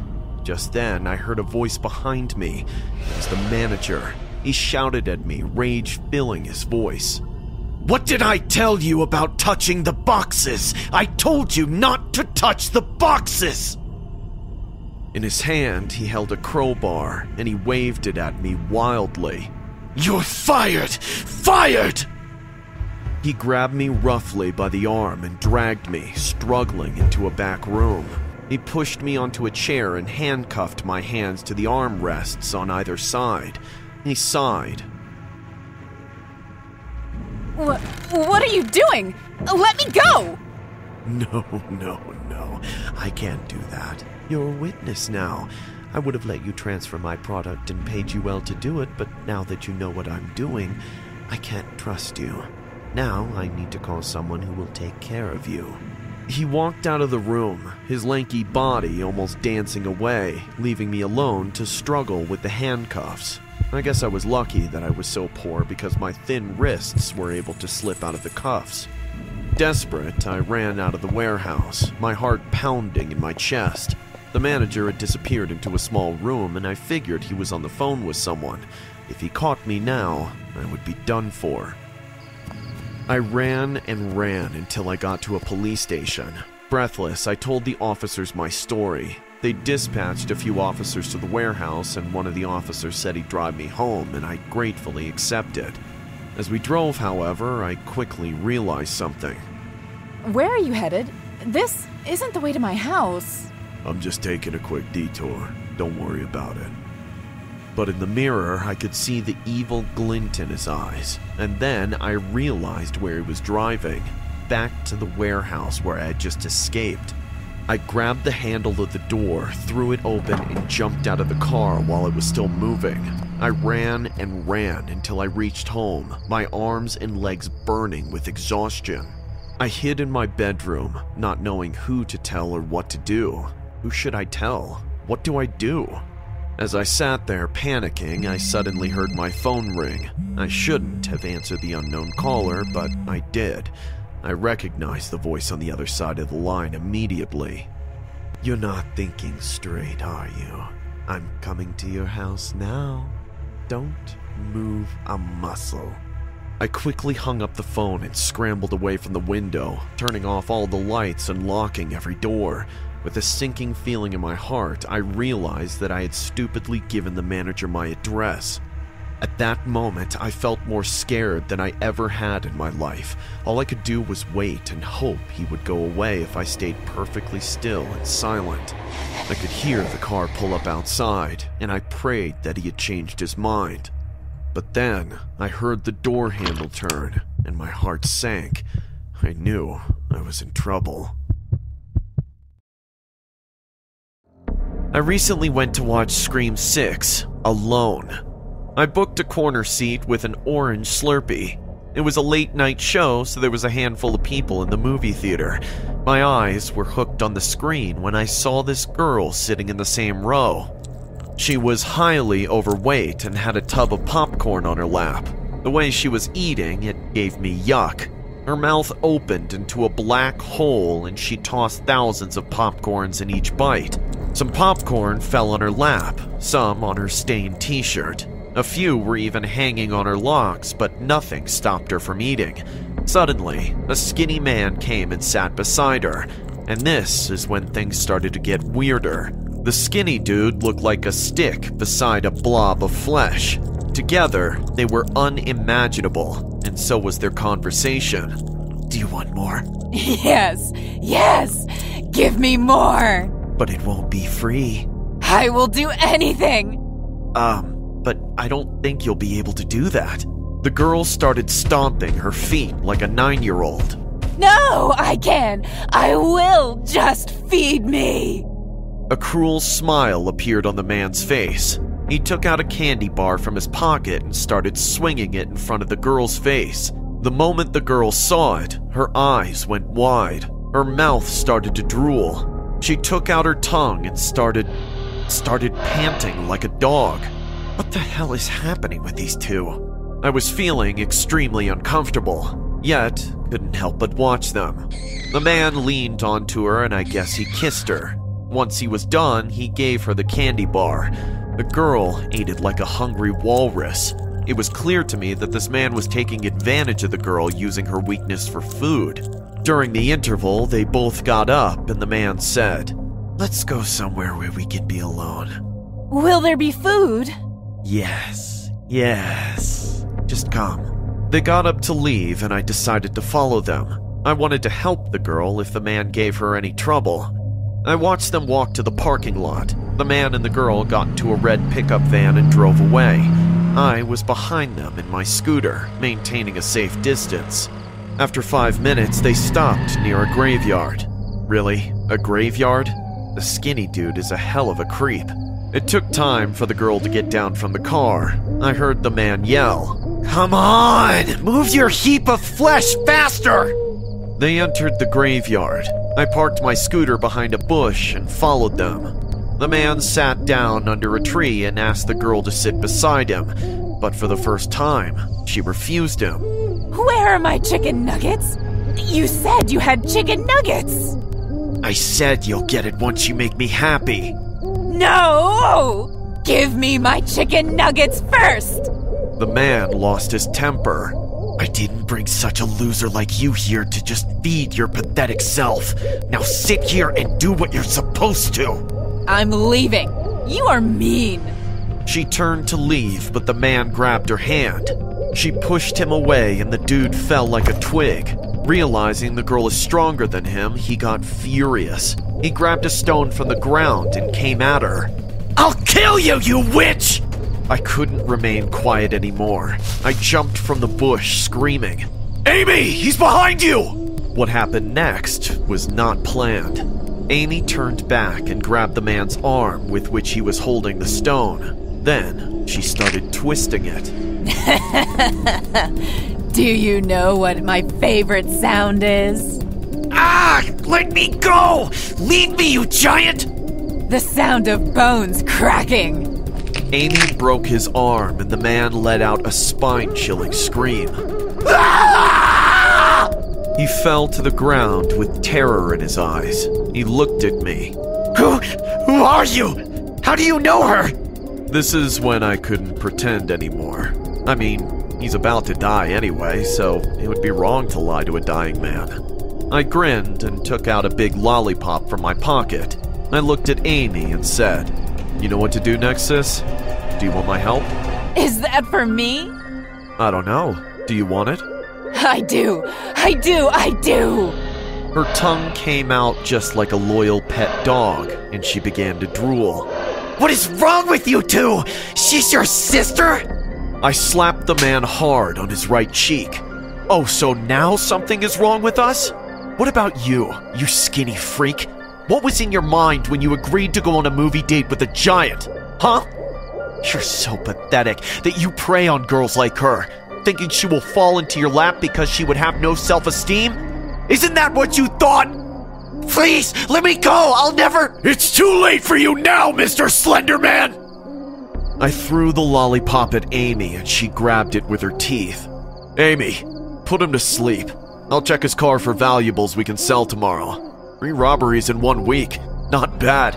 If you keep helping me like this, I promise I'll buy you the biggest fridge in the world and fill it with all your favorite foods.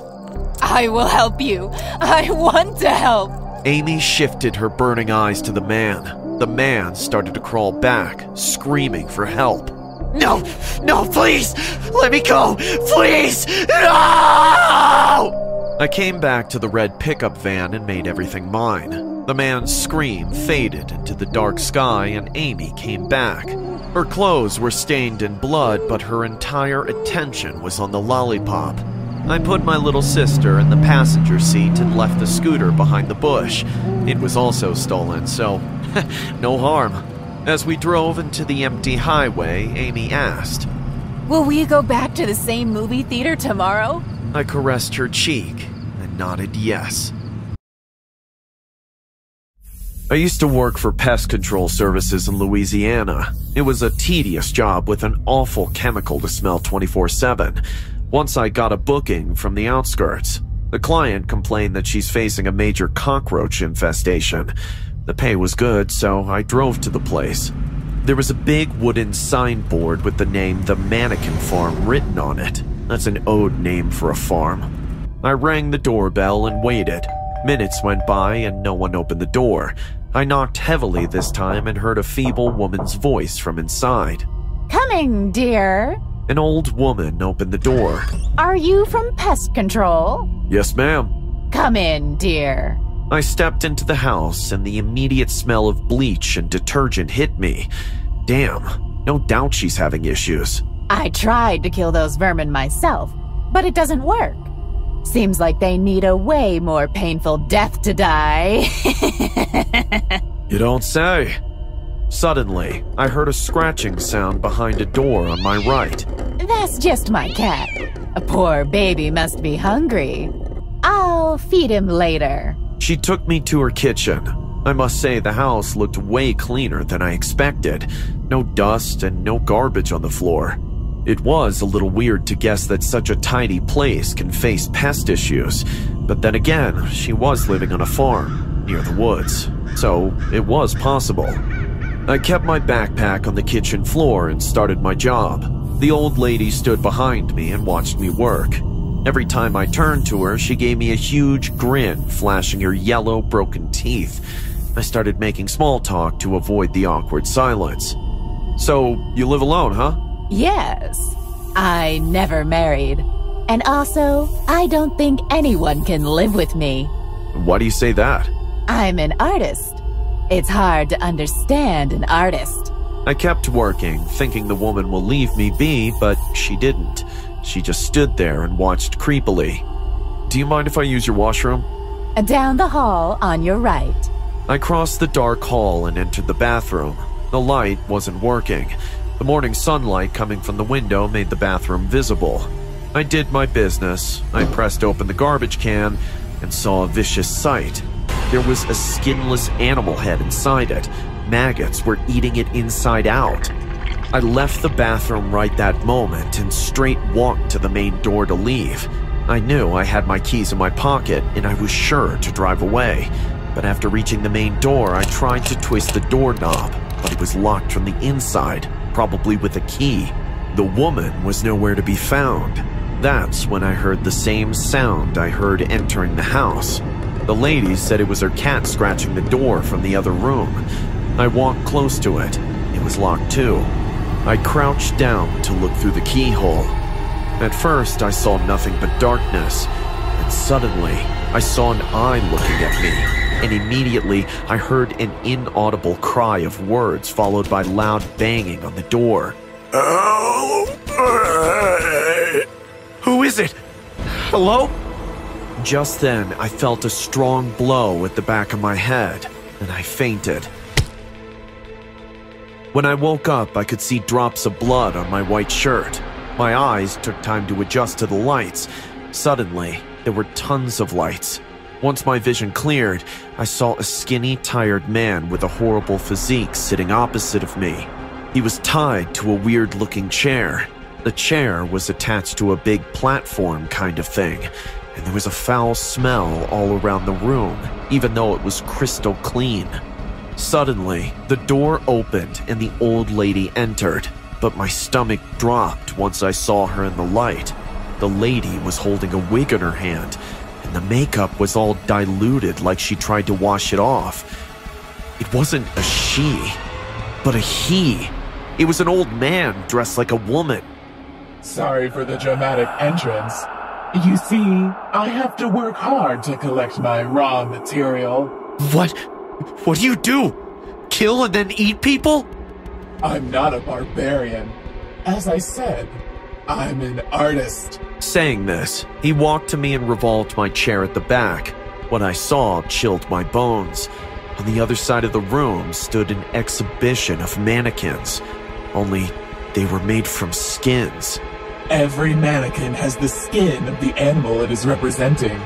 Most of them are wild animals. Those you can call my early works.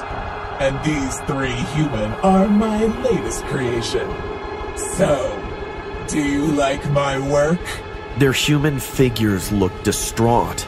The man even used their real eyes and somehow didn't manage to fit them well, so the eyes were halfway hanging on the chin of the mannequin. He walked to the malnourished man and pressed a button on the chair. The chair started to shake violently, and a scary sound came from it. After three minutes, he stopped the chair, and the man was dead. His feeble, weak body couldn't take the pain. I like skinning them without any wounds. it's a quite merciful method, you know. He took off the dog leash from his neck and came to put me on it as his next raw material, but I used my brain. It was my only weapon then. I told him I would like to have the sandwich made by my wife before he starts starving me. Hmm, fair enough. I'll bring your bag to you. He brought me my bag and I started looking into it. I was unmarried. It was all a lie to buy time from my possible killer. I had to check your bag for a knife or a gun. Hope you don't mind. I don't need a knife or a gun, you son of a psycho! I grabbed the most poisonous chemical bottle I could find and splashed the liquid on his face. He screamed and fell to the floor, holding his face.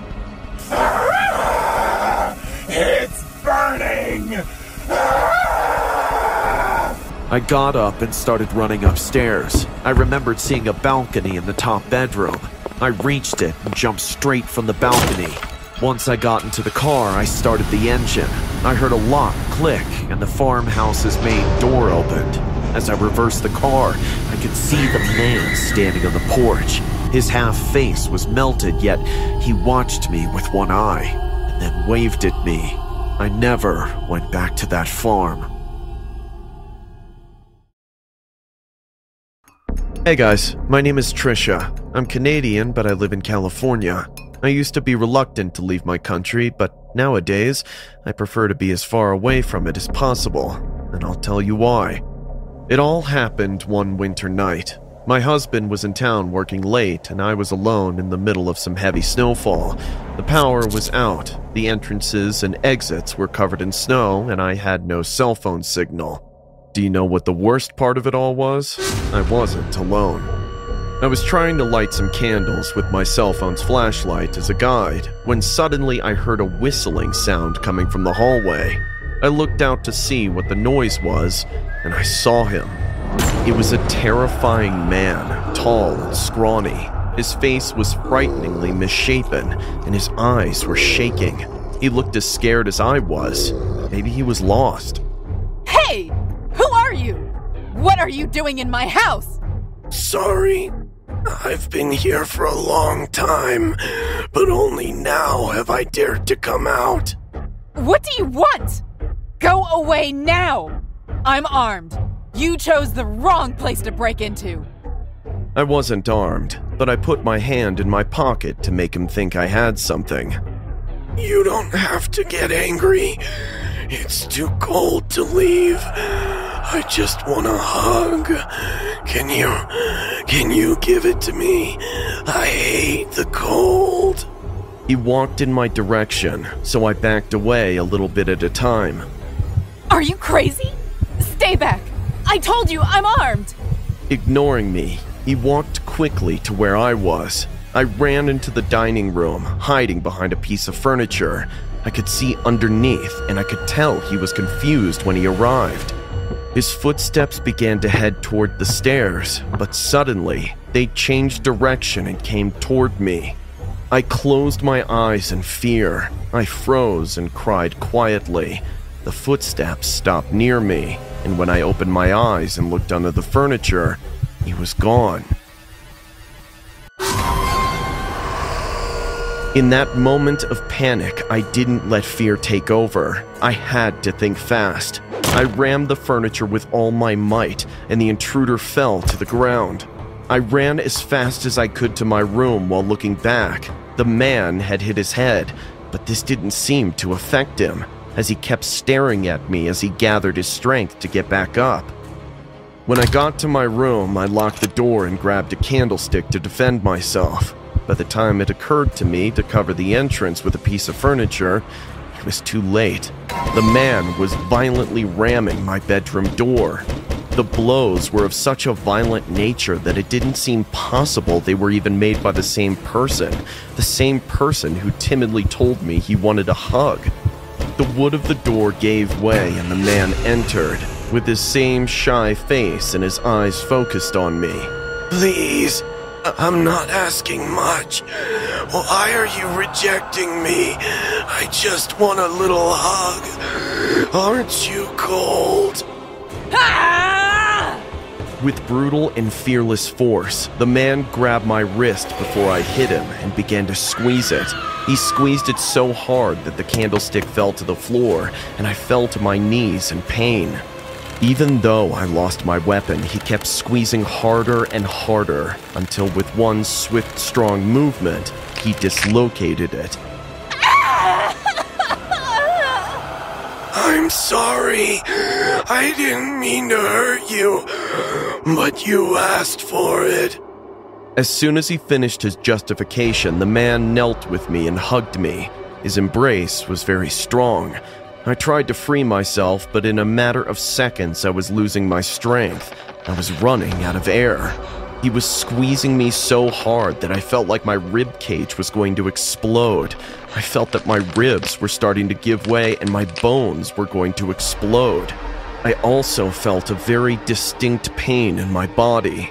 It was the man's fingernails. They were very long and sharp, and he was digging them into me as he hugged me.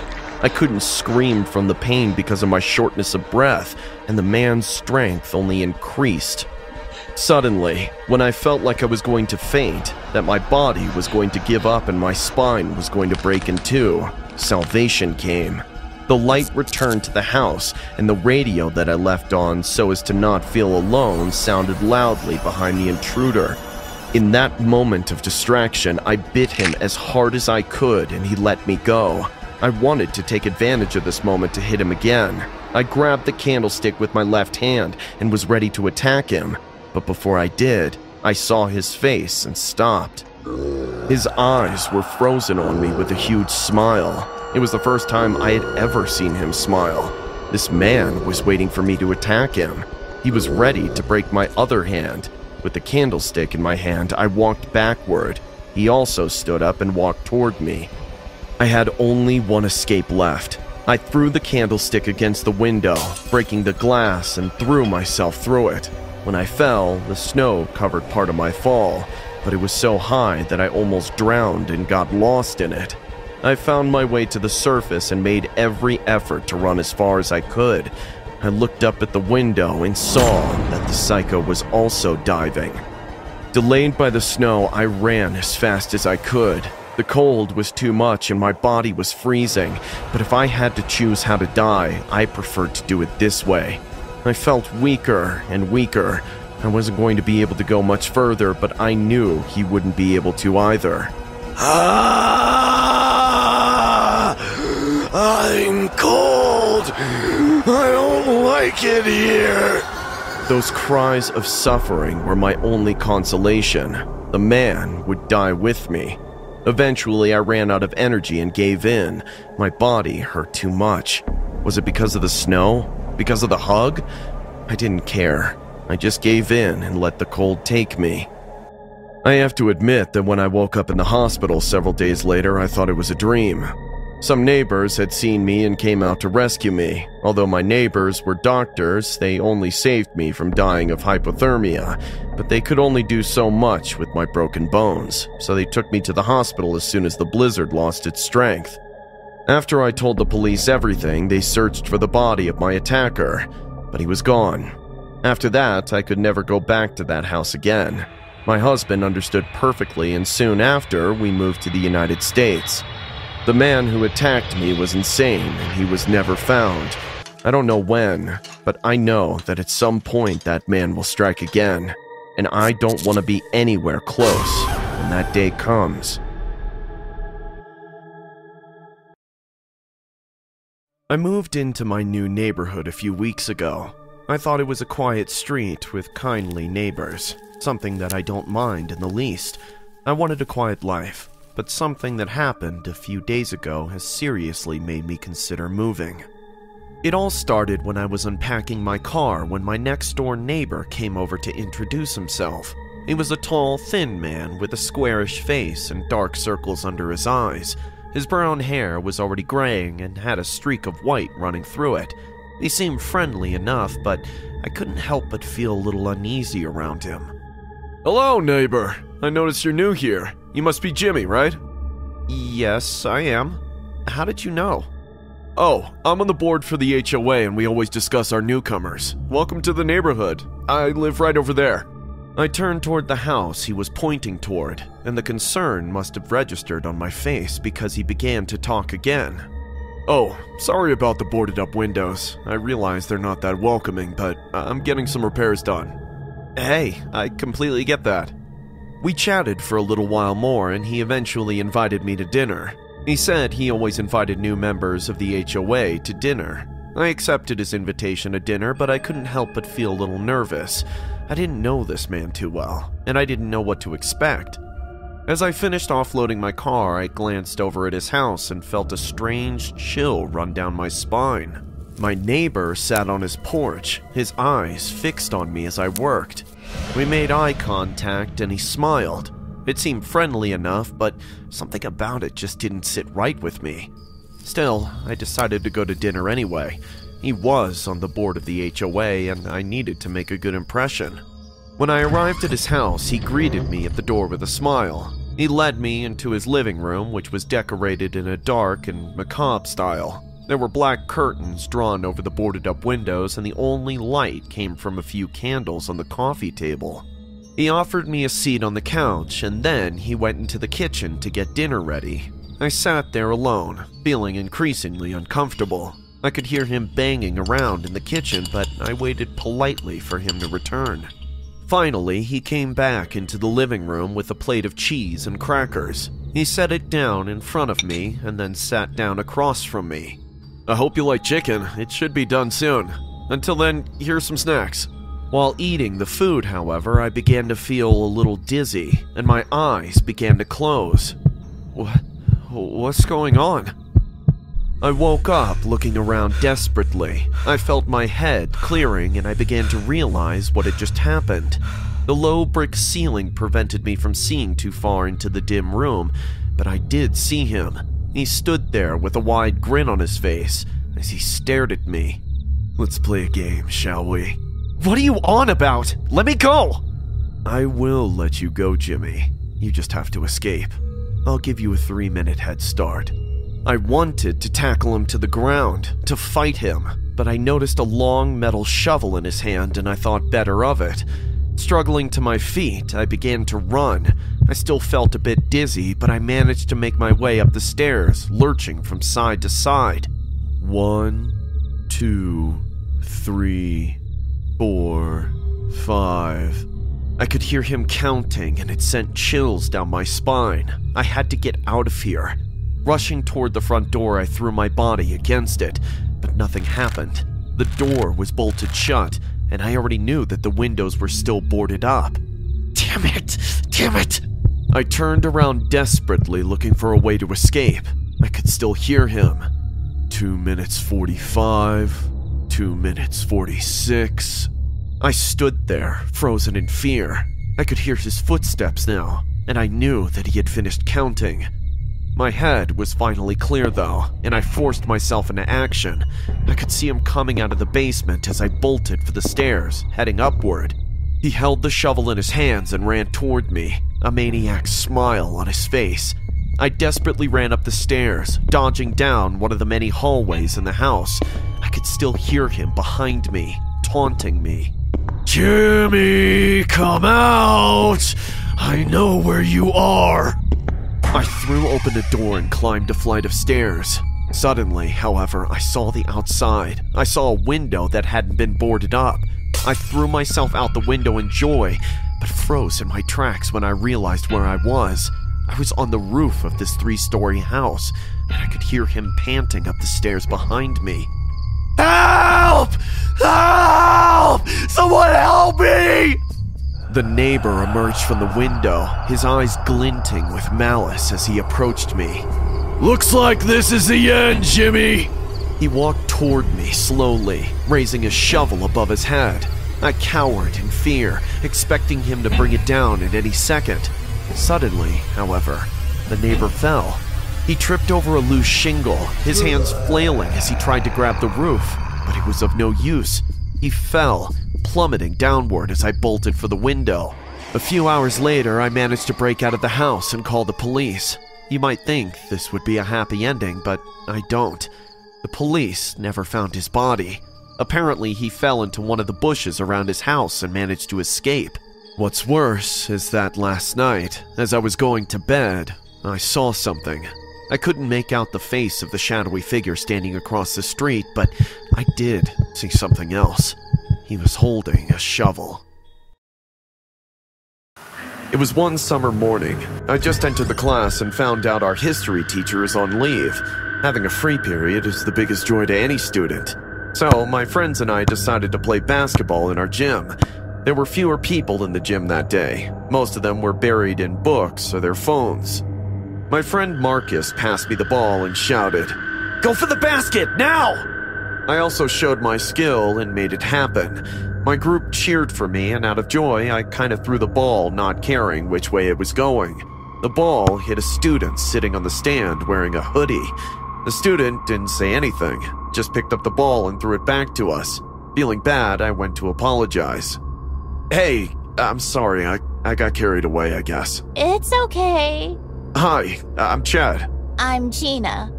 Knowing I'd hit a girl, I got even more embarrassed. Gina had her head down so I couldn't see her face.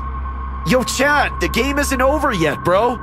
Marcus called out, and I rushed back, saying, Nice to meet you, Gina. I'll see you around then.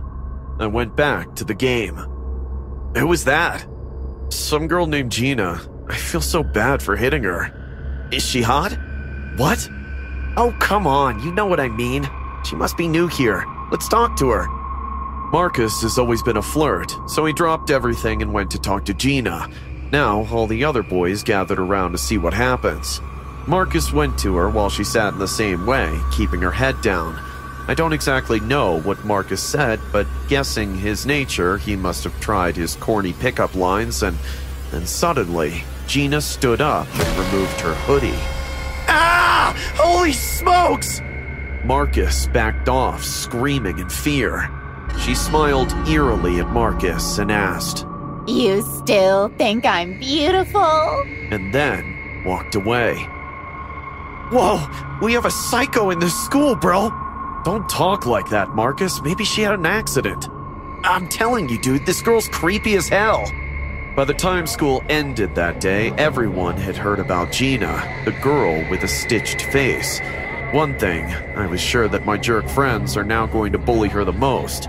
The next day at school, we were having lunch at the cafeteria when I saw Gina eating alone. I felt a little bad for her and thought to ask her how she was doing. Hey, Gina, right? You're settling okay? She got shocked because she probably didn't expect anyone to come up to her and talk in a friendly manner. Um, yeah. Yes, I'm fine. Hey yo, Stitch Face! Suddenly, Marcus called her names and everyone started laughing at her. Man, she looks like her doctor failed medical school. Good one, Talia! I could see Gina's face turning all sad and humiliated.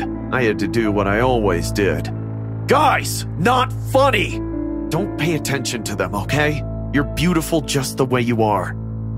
Gina got up and thanked me. She then gave Talia a cold stare and left. What's wrong with you all? No, what's wrong with you? All the girls in school, she's the one who catches your eye? What? Oh, come on, admit it. You feel the need to save her. But I'm telling you, Chad, that girl is bad news.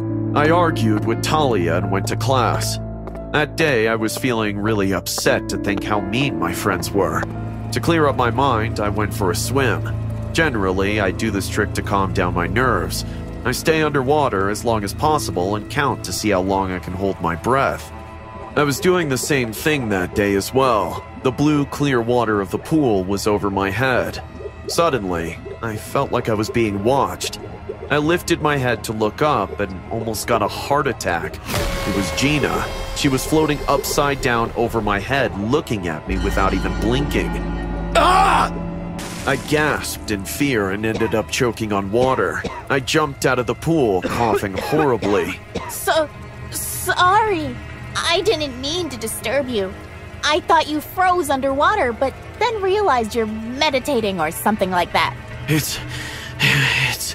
It's alright. You kind of, uh, startled me. I, I should. I should take a break. As I saw on the edge of the pool, Gina sat beside me. It's my face, right? I scared you, huh? No, don't say that. I'm not like my friends. I know. You're the only one who treats me like a human being here. If you don't mind me asking, were you in some kind of accident? Gina stared at me for an uncomfortable amount of time and then said, Something like that. I'll tell you some other day. I need to go now. She was wearing her dress when Marcus and Talia walked in. Oh, what the? Chad? You want to do her? Hey, Stitchface! How come you're so pathetic? Shut up, you two! Gina, I'm sorry. It's okay. I got it, Chad. Gina walked extremely close to Talia and said in a spine chilling voice, Maybe I should cut off your face and wear it like a mask. What do you think? Sweats appeared on Talia's face and she replied, You're such a psycho! Get away from me! She pushed Gina into the water and left. I tried to help her, but she swam to the other side and walked out of the pool. I'll never forget the next day of school after that pool incident. We were all in class when suddenly we heard a spine chilling scream. We all rushed outside and figured out it was coming from the girls' washroom. As we pushed the door open, we witnessed the horror. Talia was lying on the floor upside down, and Gina was sitting right beside her. She had something on her face. Her stitches were covered, and no, it wasn't makeup. Gina was wearing Talia's face instead. She had a paper knife on her hand with stains on it.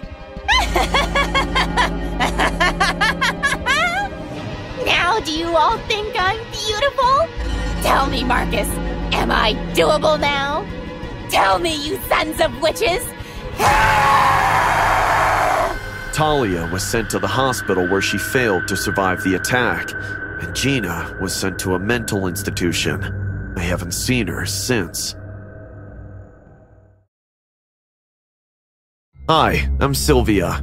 A week ago, I had to move to Pittsburgh alone with my dad. My father had landed a job in the city, and so I had no choice but to come with him. I love him a lot since he has taken care of me after my mom died in a car crash when I was young, but moving to a new city during midterm is such a pain. It's not easy for me to make friends in a new city, especially if you're a nerd. My grades got me admission into one of the top school of the city. It was a nice campus, but the kids there were anything but nice. On my first day itself, I got the worst scare of my life. I had just finished class and went to the restroom, and when I went in, the door got locked from outside. I panicked and was trying to open it when the power went off, and I heard a loud, ghostly voice roaring from the other end. I tried to run when I hit my head against something and collapsed. The next thing I know was that I was in the locker room, surrounded by people and the principal of the school. I got up and they asked me what had happened, why I screamed and collapsed in the restroom. I told them what had happened. No one believed me. They thought I had some kind of daydream and asked me to relax and went away. Moments after they left, two girls, Karen and Amelia, came up to me and told me something that shocked me. They told me about Charlie, a psychotic, faceless man who roams the town and abducts girls and kills them. I was terrified to hear this, and that night at dinner I told my dad what had happened. Dad dismissed it, saying there's nothing like a faceless man. It's just some stupid urban legend and a bunch of lies. I couldn't sleep well that night. The creature's face kept coming into my mind. I came out to the balcony for some fresh air, and that is when I saw something horrifying. On the street in front of the house, I saw a man in a hooded jacket walking slowly in front of my house, and just before he passed our house, he stopped and looked up at me. I jumped in horror. It was the same faceless man Amelia and Karen had told me. I screamed in fear and ran inside. My dad came to me room and asked me what had happened. When I told him, he immediately went to the balcony to check, but there was no one there. He took me to him room and made me sleep next to him. I was shivering in fear. He consoled me and made me sleep. The next day, when I went to school, I saw Amelia and quickly rushed to her to tell her what had happened, but she was lost in thought. When I shook her back to reality, she looked at me and broke down. Hey, Amelia, what happened? She was breathing hard and told me, Karen is missing. She went out last night and never came back. I was shocked to hear this and was about to ask something when the cops arrived at our school and wanted to meet us and question us regarding Karen. We told them all that we knew. We told the cops about the faceless creature and they just laughed it off, saying it was just an urban legend. After they left, I told her that I saw the faceless creature again in the night. Amelia had decided to go look for the creature. I told her that it was a bad idea, but she would not listen and left. I was worried for Amelia, and in spite of being scared, decided to help her. We took our cycles, did not tell anybody where we were going, and rode to the edge of town. There was an abandoned tunnel. Amelia told me that the creature lived in this place. We kept our cycle outside and went into the tunnel. I was scared, but Amelia was determined to find her friend. As we went in, the place got darker and darker. Just when we were about to switch on our mobile lights, we heard a scream. Let me go! No! We froze for a second. Amelia's eyes lit up. She told me that it was Karen's voice. We ran inside, but the tunnel split into two paths. We did not know where the sound came from, and we did not want to split and search either. We decided to take the path on the right and started walking inside. A little ahead, we saw a door, but it was locked. Amelia asked me to look for something to break the door open. I was looking for something in the dark when the door suddenly opened. I turned to look. There he was Charlie. He had the ugliest face, completely wrinkled and scary. I screamed in fear and froze. He looked very angry and charged towards Amelia. Amelia was trying to fight back, but she was losing. I had to do something. I looked around and found an iron rod. I took it and hit his head hard. He collapsed and fainted. We quickly went in to rescue Karen and called the cops and ran out. The cops came after some time, went into the tunnel, and came back saying that there was no one inside. We were shocked to hear this. We had proved that the legend was true, but feared that Charlie was still out there and will be looking to take revenge on us. The cops asked us not to leave home for a few days, and that they'd put out a notice for Charlie, the faceless man. That night, when I was asleep, I heard the window of my room crack open. I looked and was shocked. It was Charlie. He was rushing towards me, saying, I will kill you! I jumped and screamed in fear and tried to rush out, but he grabbed my hand and pulled me. I fell on the bed and yelled out to my dad for help. Just when the door opened and dad came in with a shovel and hit Charlie in the head. We called the cops who came in and arrested Charlie. The town was finally free of that faceless psychopath. Hi, I'm Paris, and last weekend was the strangest weekend of my life. I was blissfully sleeping in the car while my boyfriend Clark was driving. We were headed to this beautiful farmhouse next to a lake. It was our much needed break after a month long busy work schedule. I had closed my eyes and was enjoying the breeze when Clark suddenly applied the brakes of the car. I hit my head on the dashboard and woke up with a shock to see Clark closed his eyes in fear. Clark! What the hell? What happened? He opened his eyes and was even more terrified. I kept asking him what happened, but he didn't reply. He just got out of the car in a hurry and went out looking for something. I followed him out and was losing my patience with Clark's behavior. He looked around and said, Where did he go? He was right here. Who are you talking about? There's no one here. He came out of nowhere. I got scared and stopped, but now he's missing. I thought Clark might have dozed off while riding and had a daydream. I told Clark to take a break from driving and I took the wheels. He was still worried and looking around, so I put on the radio and our favorite dance number was playing. I started to massage Clark's neck and told him to relax, and just when he was about to close his eyes, we arrived at the gate of the farmhouse, and what we saw at the gate gave us a shock. There was an old man holding a rifle and waiting for us. I got tense to looking at his rifle and asked him what the rifle is for. He looked at me with his rock like face and told me, For the wolves. I'm Mr. Parker. Welcome to Farmhouse where time stands still. The farmhouse was exactly like we had imagined. I told Clark to forget about what happened and have fun. Clark and I went inside, and the place and its decor was straight out of a fairy tale. I was happy and rushed to hug Clark, but Mr. Parker walked in between with the luggage and scared the hell out of me. Later in the evening, when we were asleep, I heard a loud gunshot and woke up. I came out to the balcony thinking Mr. Parker might have killed a wolf, but what I saw stunned me. There was a girl in a white flowing frock, like a bride, standing on the terrace with a rifle in her hand. I was both surprised and shocked to see her, because I thought there was no other guests in the farmhouse. I yelled out to her. Hi! She didn't reply. She just went away without even looking at me. I thought it was strange and wanted to find out more about her, so I came out of the room and was headed towards the stairs when someone tapped my shoulder. It was Mr. Parker. Tea is served at the table by the lake. Please come, madam. I saw a girl on the terrace. Is this the way up? That is a private area, madam. Guests are not allowed there. Please leave. I found this whole thing very strange, but I had no choice but to leave.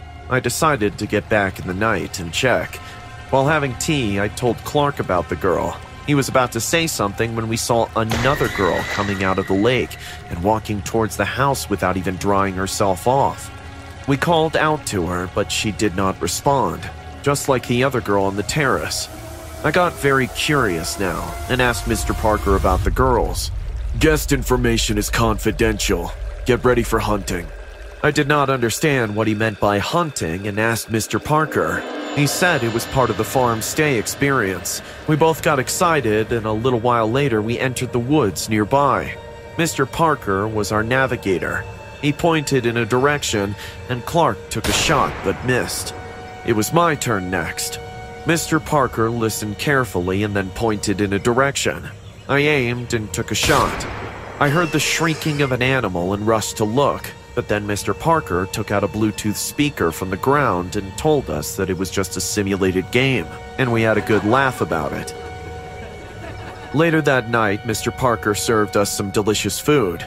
I casually asked him that I wanted the recipe, and he looked at me with a cold face and said, It's human meat curry. We were shocked to hear this, but then Mr. Parker burst out into a monstrous laugh and told me that he'll give me the recipe when I leave from here. After dinner, I had decided to find out more about the girls, but the food Mr. Parker served us made us drowsy and put us to sleep in no time. And then suddenly, I heard a gunshot and woke up. I came out of the balcony to the same the girl standing on the terrace, like what happened the previous day. I came out of the room and was going towards the terrace when, just like the previous day, Mr. Parker tapped on my shoulder, stopped me from going upstairs, and told me that the tea is served by the lake. I was at the lake having tea when I saw the same girl coming out of the lake and walking away. The same thing was happening again. I tried to explain it to Clark, but then Mr. Parker came and called us for the hunting. At the hunting, Clark missed the first time, and when I took a shot, the animal shrieked in pain. But the Mr. Parker came and showed the Bluetooth speaker. I told Clark that I've lived this day before.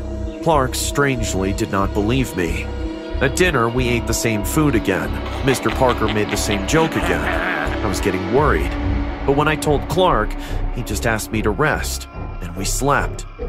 I was woken up again by the gunshot, came out to see the same girl, and was again stopped at the stairs by Mr. Parker. The same girl came out of the pool. Then we went hunting. I shot, and Mr. Parker got the speaker, and then dinner.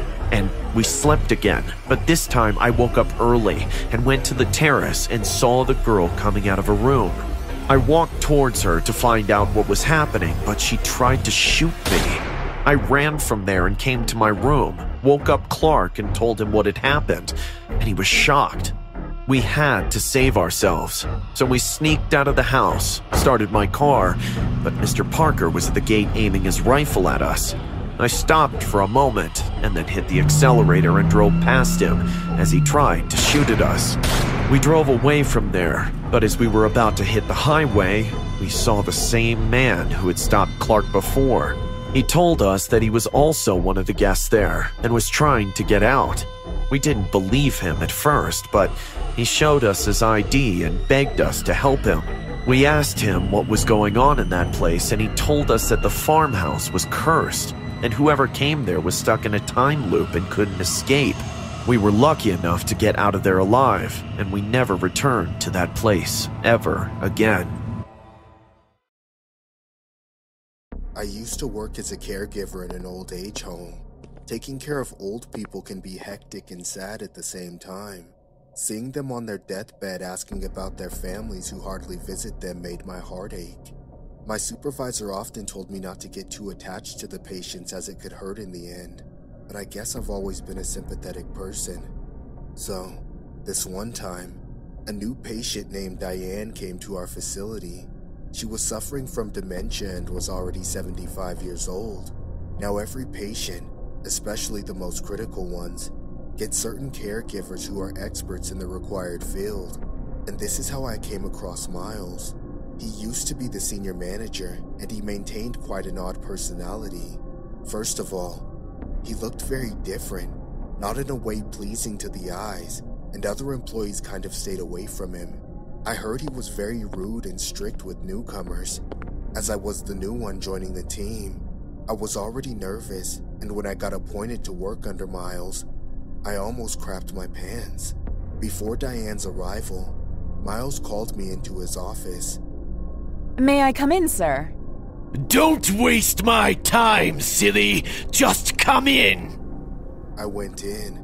Miles checked me out from head to toe and it gave me the creeps. His widespread eyes made it very weird to maintain eye contact with him.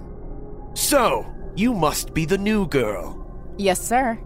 Well, at least you're pleasing on the eyes. I got the undertone of his statement, but being the new one on the job, I kept quiet.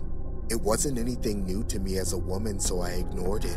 Miles handed me Diane's medicine chart and briefed me on my duty every day.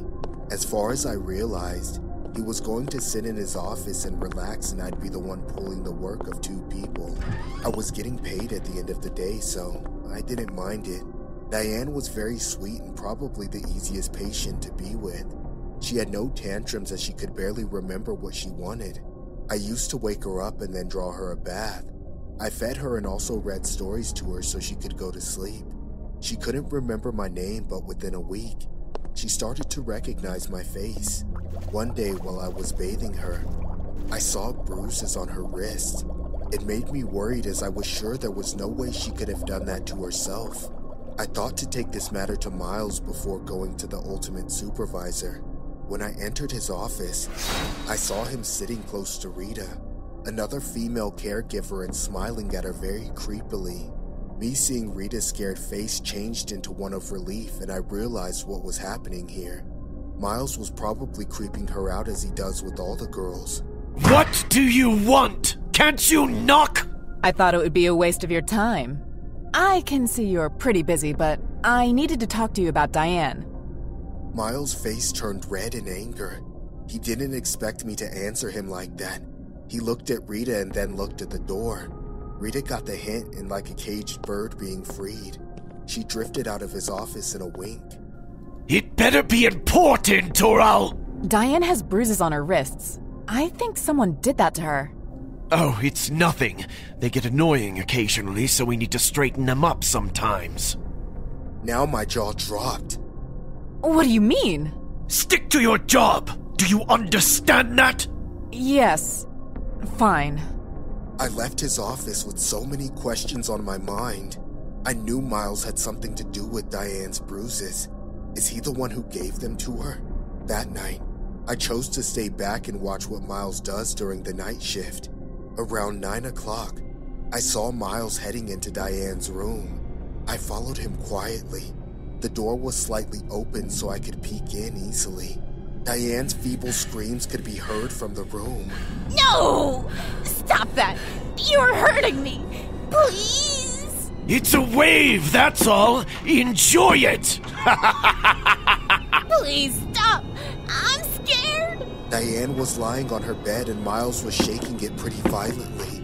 his eyes widened in cruel joy witnessing the old lady's traumatized behavior.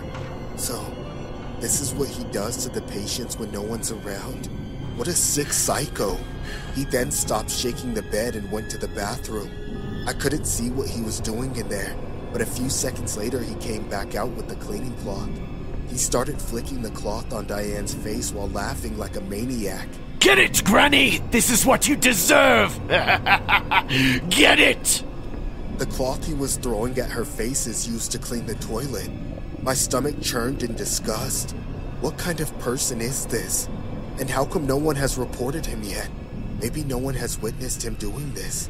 I slowly took out my phone and started recording. I wanted to stop him and save Diane from what she was going through.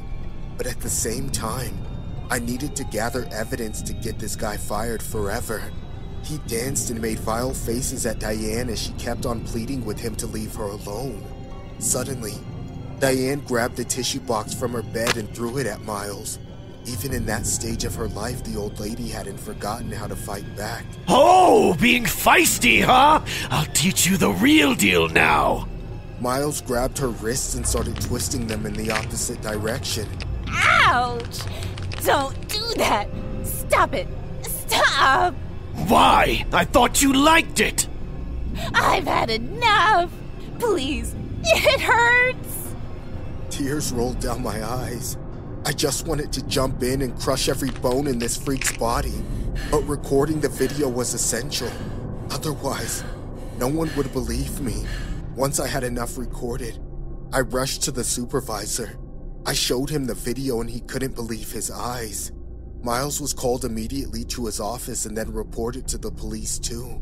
At first, he denied all the claims. But of course he did. But then after seeing the video, his face turned pale. Diane's family was informed and they made sure Miles got what he deserved. I still remember the look in his eyes when the cops arrested him and took him away. It was like he was hell bent on ruining my life and all he needed was the chance. I never heard from or saw him after that, and honestly, I have so much hatred for that freak that it boils my blood to even think about him. I remember it like it was just yesterday. My girlfriend and I just broke up, and I needed something to take my mind off her. So, I decided to go to a Hooters bar. Oddly enough, there was one across the street from my apartment, so I went to check it out. Walking quickly to escape the rain, I mistakenly bumped into a huge man in a trench coat and a baseball cap at the bar's entrance. The man had the physique of a grizzly bear and the eyes of a man on death row. I'm so sorry, bro, I didn't see you there. I apologized, but he didn't say a word. All I heard was an eerie hiss, and then I noticed his skin was pale and sickly, like a rotting corpse. His body sagged and his face looked like it was held together with staplers. I noticed his nose had fallen off due to our collision, leaving a red, fleshy hole on his face. The strange man bent down and picked up his nose, and then without a word, he walked into the alley. A little shaken, I entered the bar and sat at a table. A beautiful blonde waitress strutted over to me. This lady was quite the looker. She had curves in all the right places. The name's Molly. Oh, what can I get you, handsome?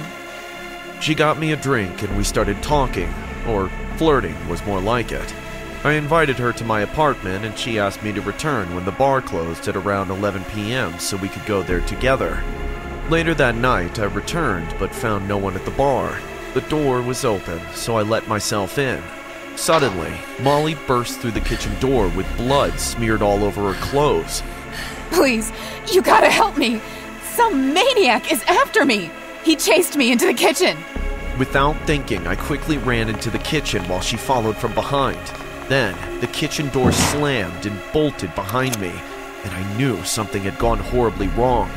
Hey, Molly, what's the big idea? Let me out of here! I pounded on the door, but it didn't budge. I could hear Molly's shrill laughter echo from the other side. When it died down, I heard a throaty hissing noise, like an animal suffocating. Gripped with fear, I turned to see the guy I had bumped into earlier. He had a bloody meat cleaver and a kitchen knife in his hand. The nose that fell off was hanging by a thread. Hey, Look, buddy, I, I don't want any trouble. Just put the knife down and, and let's talk. Before I could finish, he charged towards me while swinging the meat cleaver. It slashed my wrist, and then another cut my shoulder. A clattering noise ran through the kitchen as I broke through some pots and pans, narrowly missing the deep fryer. He rushed again, grabbed me by the neck, and then pinned my back to the stove. The kitchen knife went straight for my eye. It took all the strength I had to hold back his arms. My body writhed as the blade descended closer to my eye. I knew I had to do something quick, or I was good as dead. The deep fryer was inches away from me. It sizzled as I caught hold of the container and dunked the hot oil all over the man's head. He shrieked as his face melted into a gooey mess of flesh and bones, but I wasn't done yet. Still on an adrenaline high, I snagged a coffee maker off the counter, tackled the man to the ground, and then hammered away at his face until he stopped moving. So there I was, standing over the man, splotches of blood all over my hands and face. His legs, which twitched for a while, were now still and lifeless. A jolt of pain shot through my arm as the adrenaline wore off. I quickly tore my shirt and wrapped it around the cuts on my arm. I gotta figure a way out of here. My eyes scoured the kitchen as I searched for an exit. To my horror, the man I killed slowly stood to his feet. Then, fleshy, barbed tentacles exploded from his mouth, eyes, and ears. He slowly inched towards me, its spiky tentacles whipped around as he drew nearer. All I could grab hold of was a ladle, but I knew it wouldn't do me any good. I jumped into the cold room. The door creaked as I dragged it shut. The monster pounded and clawed at the cold room door. I moved a few steps away until I stood next to rows of meat hanging in the room. My eyes glazed and my throat ran dry as I noticed it wasn't beef or veal that hung from those rusty hooks, but human bodies, men to be more precise. Oh god, what the hell's going on? I almost gagged on my vomit, but then I realized there was another problem. I was trapped in the cold room, and if I didn't find a way out fast, I would freeze to death. Frantically, I searched for another exit, but there was none. I became brittle, the cold biting my fingers and toes, and I knew I had little time left. Luckily, I noticed an air vent at the top left corner of the room. I quickly stuck the ladle through the air vent cover and tugged till the grate was out. Then, I squeezed myself into the vent and made my way out of the cold room. As I crawled through the vent, I heard some noise coming from below. I spied through the grate in the staff area and watched as the waitress held down a man covered in blood. Then, they took a slimy tentacle creature from a pickle jar and jammed it down the man's throat. The man gagged and squirmed. His legs kicked in every direction while the waitress laughed. Soon, he was completely under their control. Holy crap! So that's what they wanted to do to me. No way I'm letting that happen. I burst through the other end of the vent and crashed into the bar area. There was a commotion coming from the back room. I wrung the front door handle, but it wouldn't budge. There he is! One of the waitresses yelled, and the tentacle headed man from earlier came after me. I flung myself through the window. Covered in blood and glass, I limped to my apartment and shut the door behind me. I heaved a sigh of relief. Finally, I was safe. Or so I thought. So, are you ready for our date? My eyes almost popped out of their sockets as I saw Molly standing right in my living room. Hi, I'm Maggie. I had just gotten married and was on my way back to our honeymoon with my wonderful and sweet husband, Joseph. We had booked this place by the beach. Joseph loved to drive, so we decided to drive to the place instead of taking a flight. We left in the morning. We're supposed to reach the place by sunset, but suddenly, our car broke down and we were stranded in the middle of nowhere. We took out our phones and were trying to make a call, but there was no network. We were wondering what to do. We had to find a ride to the next town so that we could find a garage to get the car repaired, but there was no one in sight. The sun started to go back down, and we were getting worried when a car that passed by suddenly stopped and came back near us. A gentleman with pale blue eyes and a strange haircut got down and asked us, Hi, I'm Rob. Is everything okay? Joseph told him what had happened, and he smiled and told us that it's already too late. And then he told us about this motel nearby where we could spend the night and figure out what to do in the morning. Joseph looked at me, and I thought it wasn't a bad idea, so we agreed to go with him. We somehow pushed the car to the side of the road, parked it, and left with Rob. Rob took us to this motel, the Highway Heaven, but honestly, it looked like hell. It was creepy with low lighting and walls that looked straight out of the Victorian era. Rob smiled sheepishly and apologized for the condition of the motel. He told us he was redecorating and hence it did look a bit out of shape. He actually gave the room free of cost and told us that he knew a garage in the next town and would take us there first thing in the morning. We settled down in the room. It was cozy, but had an eerie feeling to it. A little while later, there was a knock on the door. It was Rob. He had come to invite us for dinner that he specially made for us. We sat at the dinner table and Rob served the food himself. He had the strangest smile. It was less of a smile, but more of a creepy serial killer. It gave me the chill down my spine, but the dinner he made was so delicious and we were so hungry that we ignored all of that and just ate our food. During dinner, I asked Rob, Do you live here alone, Rob? He told me that he was not alone always. He was married once, and this place actually belonged to his wife. I asked him where his wife is, and he suddenly fell silent. He looked at me with a cold stare and then told me that his wife had killed herself when she was pregnant. I felt really sorry for Rob, but later that night, the strangest thing happened. I was woken up by the sounds of chants. It was strange and eerie. I could see light through the bottom of the door, and it was moving. I got scared and woke up Joseph, but by the time he woke up, the sound and light had gone. I tried to tell Joseph, but he wouldn't believe me. I insisted that he go and check. He was irritated, but went and opened the door. There was no one outside. It was all peaceful and quiet. He told me to go back to bed. I couldn't sleep, so Joseph hugged me tight and helped me go to bed. It must have hardly been a couple of hours when we heard a loud banging sound, like someone was using the axe or something like that. We were wondering what was happening when we saw the shadow of a man outside our window. We were shocked beyond belief. It was the shadow of a man lifting his axe and a man pleading for his life. No, no, no! Please, please don't do this! The man holding the axe gave out a loud laugh and brought the axe down so fast and chopped something off the man. There was a loud thud and the man yelling in pain. We immediately rushed to the front office to tell Rob about this, but he wasn't there. We rung the bell, but there was no answer.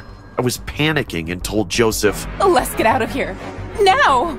Joseph told me that it was too late in the night to go anywhere. He saw the phone and picked it up to call the cops, but the phone line was dead. We decided to go and check the room from where the loud noise came. The room was right above our own room. We climbed up to the next floor, and there was a long corridor, and we didn't know which room exactly it was, so we decided to check all the rooms. I was right behind Joseph. I was scared and holding on to his hand while he opened the door of one of the rooms. There was no one inside, and strangely, there were no beds either. We went through the other rooms, and they were empty too. I was getting very scared. Joseph was about to open the door of another room when suddenly it opened and Rob was standing in front of us, smiling. Joseph told him about the loud noise we heard, but what I saw when I looked down shook the earth beneath me. Rob was holding the axe in his hand, which was stained in blood. By the time I could show Joseph the axe, Rob smiled and menacingly said, I hate marriages. They are a curse, and I will kill everyone who gets married. He lifted his axe to chop us when I pushed him and ran from there.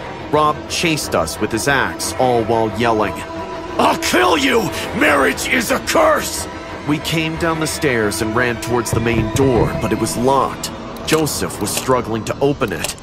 Rob walked towards us and gave out a menacing laughter when he saw us struggling. I was thinking what to do when I saw something and an idea hit me.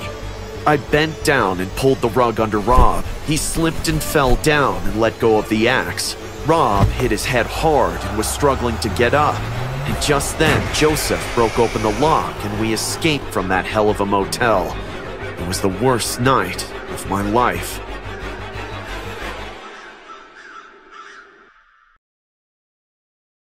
I've always loved the Scream movies, ever since I was a kid. I always thought they were a fun concept that everybody took too seriously. But not after what happened a week ago. I'll never watch those movies again. My date and I were headed to the movies, windows down, music playing loudly. It was a night to remember. I pulled into a parking space and helped Steph out of the car, linking arms as we walked into the theater. We were headed to watch a horror movie. Scream, of course. The lights were dimmed and people had taken their seats. Suddenly, I felt Steph stiffen beside me. I just saw someone in a scream mask lurking behind us. Don't be like that, Steph. You're just getting scared and you want to leave. No, seriously. There's a guy in a scream mask right behind you, Johnny. Turn around. Come on. Forget it, Steph. You're not going to trick me. I can't with you. She laughed and seemed to give up on getting me to turn around. As the movie began, however, I couldn't help but turn around a bit, just to see what Steph was talking about. In the top row of the theater was a man wearing a scream outfit and holding a large silver knife. The hairs on the back of my neck stood up as I looked at him. He was looking straight at us and laughing.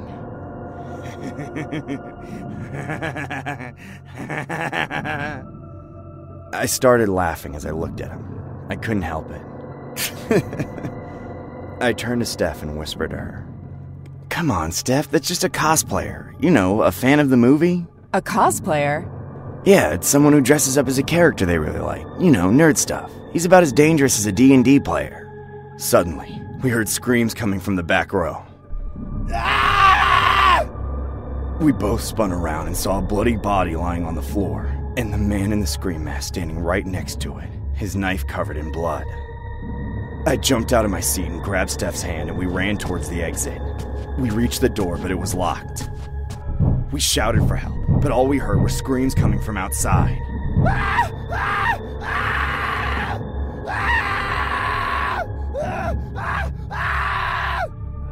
Suddenly, the door opened. But it wasn't someone who had come to help us. It was another man wearing a scream mask. We ran back up the stairs and barricaded ourselves in the projection room. Oh, what's going on? Johnny, what's happening? I don't know, Steph. Just help me put this chair in front of the door. We heard a loud crash followed by several bangs on the door. The man with the knife had broken down the door and was advancing on us. Suddenly, a sharp blade flew through the air and cut Steph's throat open. I screamed and ran to her, tears streaming from my eyes. But before I could do anything, there was another blade coming at me. I dodged it and ran out of the window. I ran out of the theater, ignoring the body strewn over the floor as I did. I had to escape. I jumped in my car and turned the key to start it. I drove right to the nearest police station and reported what had happened. The police came to investigate, and when they got there, the theater was empty. All that remained were the bodies of Steph and the other people there. Come with us, son. We have some questions for you. What? For me? What do you want me to say? We just have to make sure you didn't have any motive. You have the right to remain silent. I was taken away, my heart racing as they interrogated me. Eventually, however, they grudgingly let me go and I drove away with relief. Still, I felt a cold, piercing pain in my heart as I thought of Steph. As I was driving home, I realized there was a way to solve this mystery security footage. If the killer had been caught on camera, he could finally be brought to justice. Yes, I can get them. I can get revenge. My heart raced with excitement, but that quickly turned to terror as I saw a car with dark windows following me. I stepped on the gas and tried to lose them, and I was almost safe when suddenly I felt a bump behind me. There was no use. They had caught up with me. I crashed the car and tried to make a run for it, but I slipped and fell. As I turned around, I saw another man in a scream mask walking towards me. This is the end, I thought, until out of nowhere a police car appeared. Get down! This is the police! The man in the scream mask turned and began to run, but the police were quick. He was immediately tackled and arrested. Apparently, the police thought the killer would want to finish the job, and they were right, I guess. Still, there's something that's been bugging me, and I'm not really sure if I'll ever get over it. The killer they caught was a nasty man. A serial killer who had been inspired by the Scream movies and had been terrorizing movie theaters around the country. Steph and all of those people in the theater are dead because some maniac wanted to live out his own horror movie. And I can't help but feel guilty. I'll never watch a Scream movie again. That's not the only thing that's been bugging me, though. And the other thing is even scarier. The police did manage to apprehend the man in the Scream mask, but there were two at the theater. And if the man had wanted to finish the job, then what about the other one? I'm petrified at the thought of them still out there, waiting for their next opportunity. And what if they're still after me, trying to finish the job? I was struggling to free myself from this horrifying situation. I was surrounded by spirits. I begged them to let me go, but they just continued to circle around me. And suddenly, one spirit leaped and entered my body. I screamed in fear. My body shuddered in pain. And I suddenly woke up and looked around. It was the new place I had moved into just a few days back. Hi, I'm Rachel, and my life took a turn to the worst after I moved into this new city. I was all excited when I moved in here a new job and a new place to live, but from the very first night, I was haunted by this nightmare, and it's been repeating almost every night. When I told my friend about it, she suggested that I meet a psychic. I never believed in them, but still agreed. I booked an appointment and got one for next week and had to wait. I cut the call and was having dinner at home and had a lot of wine to drink when I heard someone whispering in my ear. I jumped in fear, and the food on my plate fell on the ground and smashed into pieces. I looked around, and there was no one. I was scared, but had to clean up the mess, so I got down to doing it. But just then, the power went off, which was very odd and rare. I switched on my mobile torch and started to clean when suddenly someone dragged me out of the kitchen and pushed me out. I hit the floor and fell down. That is the last thing I remember, because when I woke up, it was morning and I was on my bed. The kitchen was clean. I was confused if what happened last night was real or dream. Maybe I was high on wine and had a hallucination. I looked at the watch and was getting late for work and rushed into the shower, only to be shocked at what was written on the mirror. Rachel, the truth will liberate you. I got scared and called the cops. The cops came in and asked me all the routine questions and registered my complaint, but just before leaving, said that they were surprised someone had taken this place. I got curious and asked them why they said that, and one of the cops very casually said, A girl was killed here, ma'am. I was shocked to hear this. No one had told me about this when I rented this place. I immediately called the owner and the realtor, but they just brushed it off, saying it was a long time back, and told me not to worry about anything. But I had made up my mind to move out. At office, I asked my colleague if I could stay with her for a while. She happily said yes, and I went home and started to pack my stuff, but while packing, my mind kept going back to what was written on the mirror. I kept wondering who might have written it, how they knew me, and what truth were they talking about? I asked around the neighborhood about the girl who was killed. Not many knew about her except for one old man who told me that I'll find answers at the Hooters Club. I searched for the club. It was an old place with 90s vibe, and not many knew about this place. I went in and was asking about the girl when there was a tap on my shoulder. It was a girl who hugged me, called me Olivia, and started talking to me like she knew me. I was surprised, and then what shocked me the most was the owner of the place came and told me that I was very brave to have come in after what had happened to Carla. Who is Carla? Who is Olivia? What is going on here? They looked at me strangely when I asked them this. I was about to tell them who I was when a barman came and took me with him. I tried to stop him, but he forced me to follow him to the alley behind the club and told me to leave immediately, otherwise, I'll be killed if they know that I'd come here. Who are they? Why will they kill me? This is the first time I've ever been here. The barman told me to leave since they were searching for me from the time they came to know that I had killed Carla.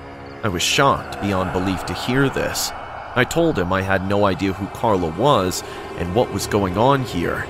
The barman called a cab for me and ordered me to leave immediately. I came back home all confused and scared. Who were these girls and how was it related to me? I was lost in thought when I felt like someone pushed me and I fell next to my bed, and what I saw underneath was the most unexpected thing. There was a wooden box which I had not noticed till then. I opened it, was shocked to pictures of a girl who looked like me. I guessed that she was Olivia, who the people at the club knew. There was lots of pictures of Olivia with another girl, and behind one of them was a caption, me and Kay getting tanned. I assumed K stood for Carla. While looking in the box, one picture fell down, and when I saw it, I was completely shaken. It was a picture of my mother holding two kids. I couldn't believe this. I always thought that I was a single child, and suddenly I had a twin who was working in a bar and had allegedly killed her best friend? I called my mom and asked her about my sister. She very reluctantly admitted that she had twins and the other girl grew up with her father. They both had sworn never to reveal this to them. This was all unbelievable.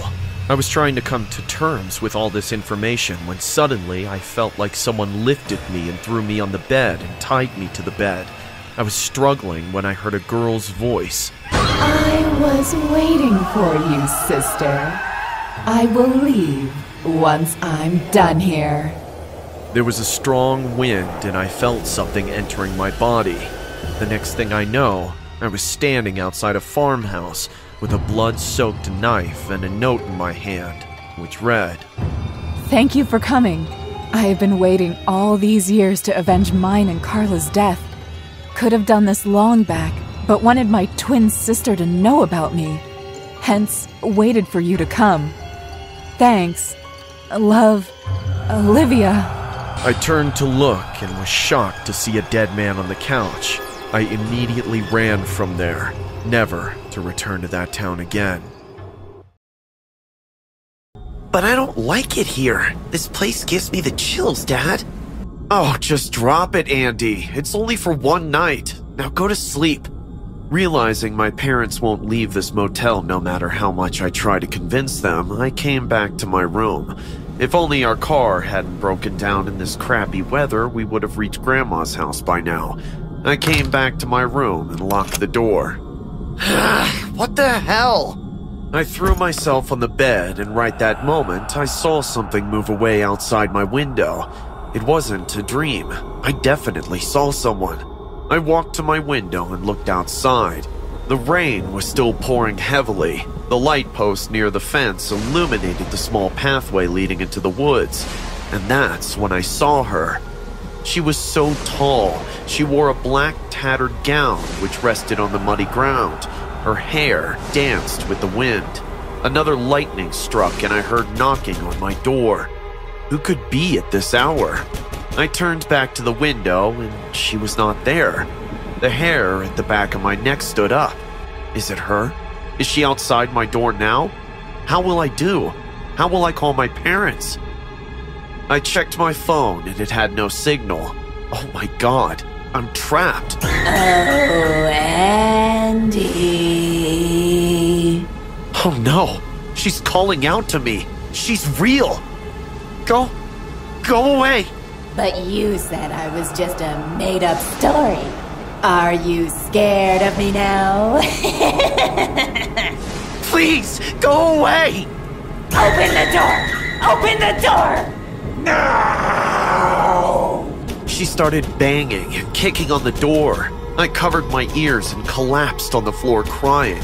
I was praying to make her go away. I should have believed the story. Hugging Molly is real. If I hadn't made fun of her, this wouldn't be happening to me. Oh my god, am I gonna die? A loud thud broke down the door, and like a tornado, she entered my room. Her head touched the ceiling. Her eyes made me jump. The way she opened her jaw to her chest gave me a heart attack. She raised her claw like hands and came at me like that. No! Andy? Andy, what happened? I woke up in the back seat of the car hearing my mom's voice. Sweat and fear were all over my face. Hey, did you have a bad dream? I. I thought. This is why I tell you not to watch IMR Scary Tales. Those stories can give you nightmares. I looked around and saw the storm has stopped, but the night is still there.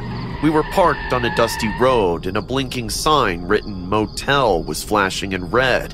Come on, let's go in and get some rest. You'll feel better in the morning. Why? Why are we stopping, Dad? Andy, it's not safe to drive in such weather. Also, your dad needs to rest. We all need to. Come now. I wiped my face with my sleeves. It was all a bad dream after all. I grabbed my backpack and followed my parents into the motel. Mom, please let me sleep with you guys. I, I can even crash on the couch. Just don't send me to sleep alone. Fine, you can sleep with us. I changed into my pajamas and laid down on the couch.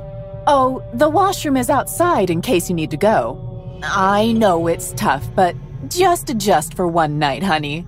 I was sure that no way I'm stepping outside the room before the sun hits the sky, but life has its way to frack you up. I don't remember what time it was, but I woke up to the loud sound of thunder. The rain had started again. The sudden urge to pee made it impossible to sleep. I'm already sharing the room with my parents, and now I'm about to wet my bed? Damn it, Andy, you're not a chicken. Be a man. I got up and looked outside the window. There was no light post outside. It was all pitch black. I grabbed my phone and turned on the flashlight. I came out of the room taking slow steps. Can't lie, but once I made it outside, that unknown fear clutched me once again. I could see the washroom at the end of the passage. No doubt we're the only ones in this motel. I looked around and made a run for it. Once I got in, I locked the door. I was panting in fear. After finishing my business, I felt a little relieved. All I've got to do now is go back to my room and sleep the night off. I braced myself and opened the bathroom window. As I peeked out, I saw the empty, dark corridor lying ahead of me. Man, that dream spooked me out. I closed the bathroom door behind me and turned around to take my step when I heard a chuckle. I slowly turned my head back to the passage and saw something sitting on the floor in a crouched position. It wore a black gown that was tattered in places. What? What are you doing? Whoever was sitting stood up hearing my voice. I have never seen someone so tall before. It was a woman whose long hair dripped rainwater. She had no eyelids, and her mouth was open into a huge jaw. I missed you, Andy. Did you miss me? She ran towards me at full speed, and before I could run, she hugged me tightly with her sloppy, clawed hands. She brought her face extremely close to my ears, and talking out her dirty, long tongue scream into my ear. I don't remember anything after that. No, he was never like this before. It all started after we spent the night in that motel, Doc. Please do something. It isn't normal for a 12 year old boy to wet his bed every night. He wakes up screaming, and not just that. I don't know how he gets these bruises. Nothing makes sense anymore. Calm down, Mrs. Pierce. I know it's tough for parents to witness their child going like this. But I think it's best to consult a psychiatrist now. Rockabye baby be on the treetop. When the wind blows, the cradle will rock. When the bow breaks, the cradle will fall, and down will come baby, cradle and doll. Hello, my name is Maggie, and these may be my last words alive. I'm locked in the dark with a being that is hunting me, I may not see him, but I hear his breathing and I feel his gaze. I'm about to die and there's nothing I can do about it. The monster is getting closer and closer to me. I can feel it. The only thing I can think about before I die is how this whole nightmare started. That day, I was leaving Carol, my sister's house. I had spent the day with her and her family, but on the way out, something strange happened. A bunch of black vans started to park in the street, and out of them came a bunch of bloody people. One of them ran up to me and knocked me to the ground. He was trying to kill me. Daryl, Carol's husband, pulled the man off of me and started struggling with him. Run! Go check on your family! Thank you. I ran back to my house and everything was terrible. The men were eating all the people around. They were like zombies. I looked in the windows of those vans. No one had gotten out. It was as if they were driving automatically. I ran to my house and slipped away from the zombies and entered my house through the backyard. But something was wrong. The patio door was broken. I ran into the kitchen and found my husband lying on the floor wounded. There was blood everywhere, and next to him was Rick, our neighbor, dead. Maggie? What's going on? Rick went crazy. I, I had no choice. Oh, Glenn, you don't know what's going on out there. Come on, we have to get you to a hospital. You're hurt. As I carried my husband to the garage, I felt something go through my body. It was blood. Glenn was dripping blood from his mouth all over my body. I panicked for a moment and pulled away from him, dropping him. Glenn got up immediately, but something in him had changed. A large amount of blood started coming out of his mouth. His arms began to dislocate, and with every step he took toward me, his legs broke, making strange, inhuman movements. While this was happening, Glenn was still not reacting. He just stared at me as he cried blood, and his eyes swelled up to the point where they looked like they were going to pop out. Suddenly, the man jumped at me. I hid in the car and closed the windows, but I couldn't do it in time. A part of Glenn's body managed to slip out and stretch further and further into the car. He was getting closer and closer to me. My own husband was going to kill me. In one swift move, I waited for Glenn to finish getting in the car so I could close the window and get out. Now, he was the one who was trapped, banging on the windows desperately like a rabid animal. Crying, I went into my house and locked all the doors. After a few months, everything that had happened became clearer. Some scientists revived a zombie frozen for more than 40,000 years. The problem is that instead of using it for good, some nations develop their own zombies and use them as weapons to attack other countries. We never knew who had used it against us, but seeing those black vans, we knew that it was intentional. During these months, most of the zombies, my husband included, had starved to death. But the ones that didn't, they evolved. These zombies were smarter hunters. They knew how to open doors, stalk their prey, and hide. They were lethal predators. One of those days, Carol contacted me asking me to go with her. I had never left my house since then, only to look for food nearby places. My sister had asked me not to go, but apparently she had changed her mind. I packed my things and left for the night. As expected, several zombies started chasing me. What I didn't expect was that they were so fast. One of them caught up to me as I was jumping over Carol's fence and fell into the garden with me. The zombie was on top of me, ready to bite me until suddenly its head exploded. Carol was behind with a rifle. After she saved my life, my sister told me how trying to defend myself, Daryl had been bitten. That caused him to bite her son as well. Only Carol survived. We spent the night together catching up. We both went upstairs to show me the room I was going to sleep in, but when I went in to check, I couldn't get out. Carol had locked me in. I tried to turn on the lights and they didn't work either. All the windows were boarded up from outside. The darkness was absolute. Worst of all, I wasn't alone. I could feel someone breathing nearby. I'm sorry, Maggie. I couldn't let him starve to death. I couldn't find anyone else to sacrifice more than a week ago. Carol, who is with me? It's my son. I couldn't let him die, zombie or not. I love him. Terrified, I backed into a corner, and this is where I am now. My own nephew is in the dark, waiting for the ideal moment to jump at me and kill me.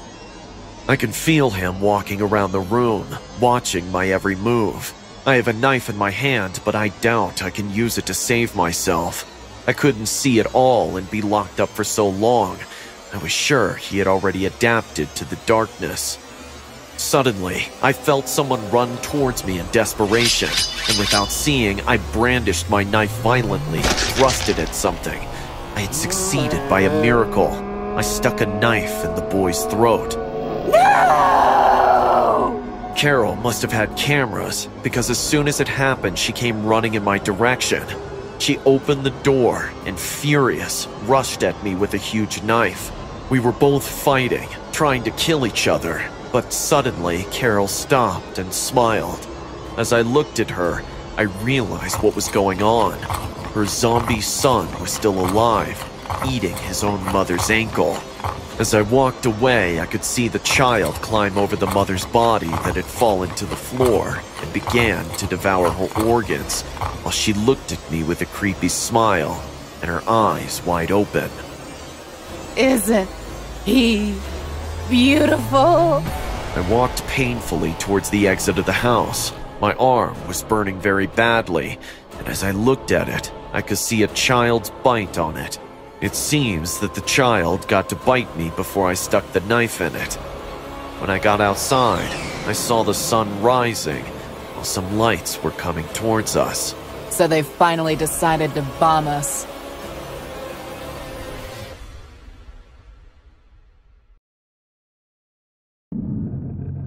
I sighed as I tossed my cigarette to the ground, stomping it out with my foot. This school looked like a prison, and I was sure I was going to regret coming here.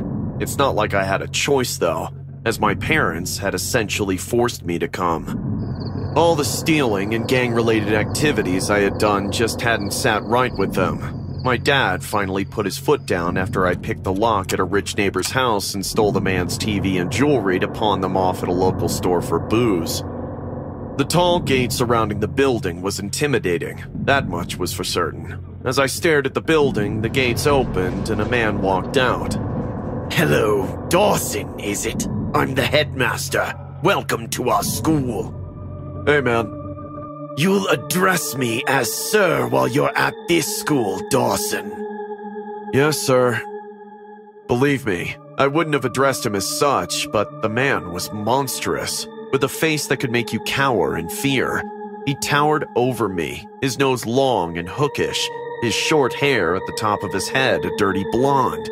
His eyes were cruel, and his face seemed lopsided. The day passed quickly, and I soon found myself in my bunk, trying to get some sleep. Suddenly, I heard screams echoing from the hallway. I froze in fear, knowing I shouldn't go out and investigate, but I had to. I couldn't just sit here and do nothing. Before I could leave the room, however, I felt a hand on my shoulder. You'll get in trouble if you go out there. What do you mean? The headmaster punishes anyone who goes out at night. It's best to just stay in here and try and get some sleep. I stayed put, but the next night the screams came again. I had to investigate this time, so I quietly opened the door and peeked out. The long hallway was empty, and I slowly crept along in the direction of the screams. I finally came across a classroom that I was sure the screams were coming from and cautiously slid the door open. The sight that greeted me was terrifying. A shadowy figure was standing on the far side of the room beyond the desks. I couldn't see who he was whipping, but it was clear that he was whipping someone. His hand rose and fell, and the screams echoed in the room. I was about to shut the door again and go back to my bunk, but then the figure turned around and saw me. Ah, what do we have here? You're going to get a punishment for being out after hours. I spun around, but I suddenly felt a hand on my shoulder. A teacher stood there, his face contorted with rage. You're gonna get what you deserve. He dragged me into the classroom where the headmaster was waiting for me. You will be punished for being here, Dawson. You shouldn't have snuck out of bed. What the heck are you gonna do to me? He grabbed me by the arm and dragged me out of the room. He took me to a janitor's closet and locked me in, leaving me to sit and contemplate my fate. I'll be back for you soon, boy. When I am, you're going to wish you had stayed in bed. I was left there for what felt like hours. Finally, I remembered my lockpicking skills and managed to pick the lock on the door. I quietly escaped and made my way out of the building, jumping over the gates and running into the woods. It wasn't a moment too soon.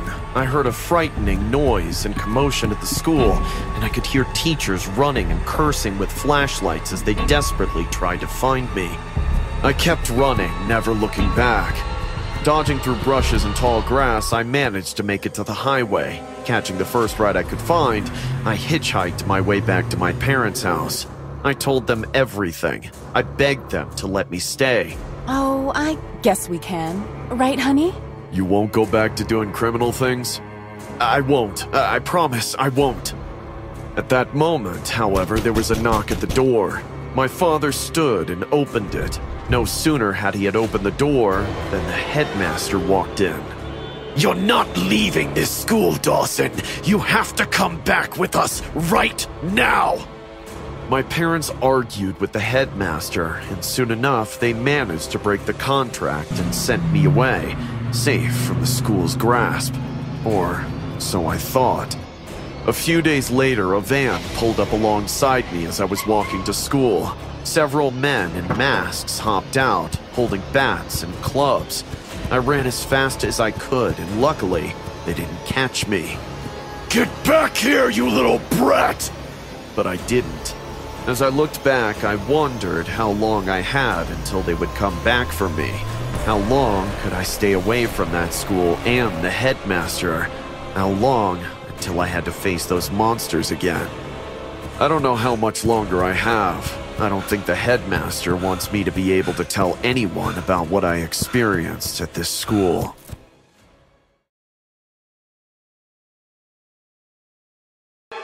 I didn't move beneath the covers, excitement coursing through my veins.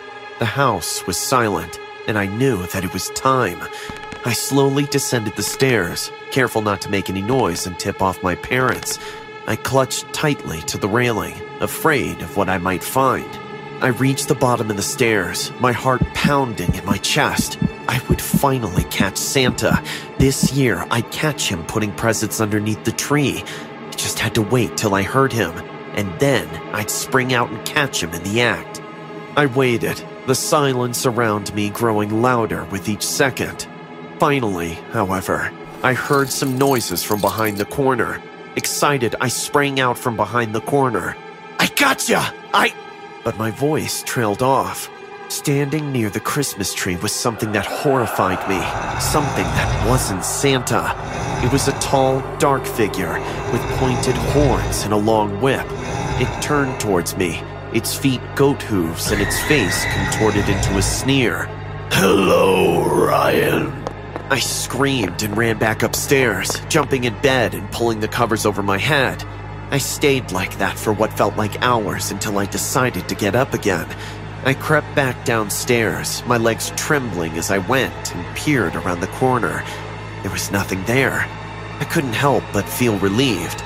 Maybe I had been dreaming and had never left my bed. The next morning, I had all but forgotten about the mysterious creature that stood in front of the tree. It was Christmas, and I eagerly opened my presents. There was a bike, a few new games, and strangely enough, a strange looking toy that resembled a fidget spinner. A few days passed, and I decided to keep the fidget spinner with me as I made my way to school, despite the strange looks my parents had given each other when I opened it. School passed uneventfully, and I began to make my way home. I walked home, talking to my friends as I did. I swear, it was the craziest dream I ever had. A monster in the house on Christmas? Come on, man. Yeah, you must have been dreaming. Have you ever heard of Krampus before? Krampus? What's that? It's some crazy anti Santa urban legend. You must have seen it somewhere. We continued walking until I saw something out of the corner of my eye. I stopped and strained to look in the direction I had seen it, but whatever it was had already gone. Still, I felt chills run down my spine. Whatever I had seen looked like it had horns, and I thought it looked awfully similar to what I had seen on Christmas. Suddenly, it began to snow incredibly hard. The clouds were so thick that we couldn't see anything in the distance. We ran towards the closest gas station, desperate to get out of the snow. Come on, man, keep up! I shouted behind my shoulder as I ran. When I didn't hear a response, however, I turned around. My friend was gone, and the snow whirled around me harder. What's going on? I kept running, my heart thumping in my chest, until I finally reached the gas station. For a moment, I felt relieved. The sign said the employee would be back in an hour, so I had time to take shelter from the snow and help myself to some snacks. I made my way to the racks of candy and snacks, almost too excited. Free candy for me, I guess. That stupid employee shouldn't have left the store unattended. I began to stuff the candy in my pockets, feeling overjoyed. But then, the lights went out, and I heard hooves on the ground. I froze in fear and looked up. Standing before me was Krampus. He sneered at me. You're not on the good list.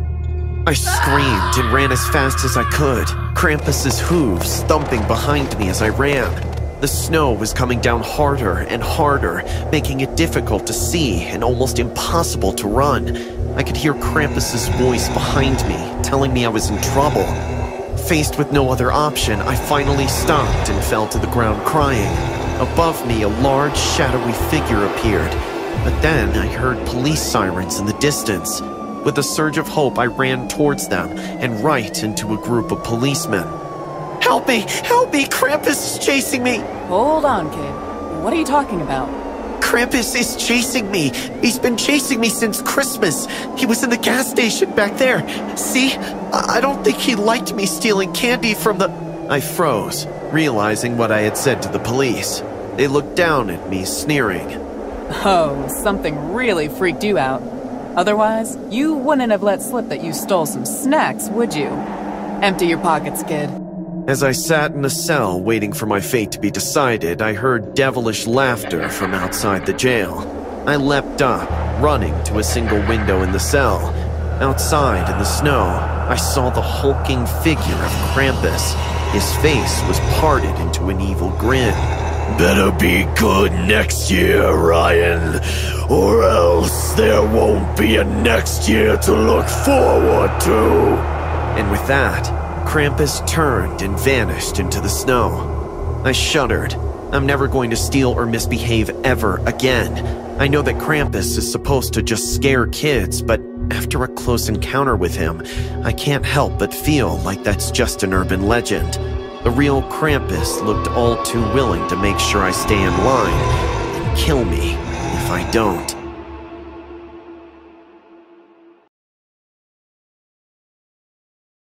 Hi, my name is Mike, and I was returning to my hometown after many years and was very excited to see the places where I had spent my childhood days. I reached the entrance of the town, got out of my car, and was about to take some pictures when suddenly an ugly looking dog attacked me. I got so scared that I ran back to my car, locked the doors, and drove away into town. I was still shivering with fear when I entered the town, to which was eerily empty.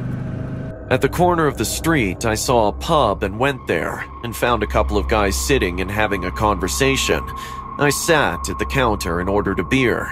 I asked the barman, Hey, how come the town is so quiet? The barman did not say anything, and just then, a beautiful woman came and sat next to me. I was happy to see someone that I offered to buy her a beer. I told her that this was my hometown and was looking forward to having a tour of it, but something was bothering her. She kept looking at the watch and suddenly got up and said, I've gotta go. Sorry. Please, get out of here. I was surprised to hear this. What was going on here? It was too late and I was very tired to leave, so I decided to stay back, which turned out to be the worst decision of my life. I asked the barman for a hotel and he gave me a few suggestions. I went to one of them and asked the manager for a room. I came to my room, showered, and was about to hit the bed when there was a knock on the door. I opened it and was shocked. It was one of the guys I had seen in the bar. He looked like a dead body walking, straight out of a zombie movie. He jumped on me and started to beat me up. I was struggling to defend myself, but he held my neck and started to strangle me. I was getting breathless and thought I was going to die, when suddenly he stopped. I turned to look and was even more shocked when his head fell off his body and rolled on the ground. His body then slumped to the ground, and behind him, I saw the same girl I had seen in the bar. She had a machete in her hand, which was soaked in blood. She quickly walked towards me and said, Hi, I'm Sarah. Come with me if you want to live. I was still in shock when she grabbed me and jolted my body. I came back to reality while she was saying, Hurry! We don't have time, let's go! I tried to grab my suitcase when Sarah told me to leave everything since there's no time. She just grabbed my hand and took me out, and we were rushing towards the entrance when suddenly some guys who had turned into zombies stood at the front gate. Know how to slash bodies? I shook my head, saying no, but it was too late.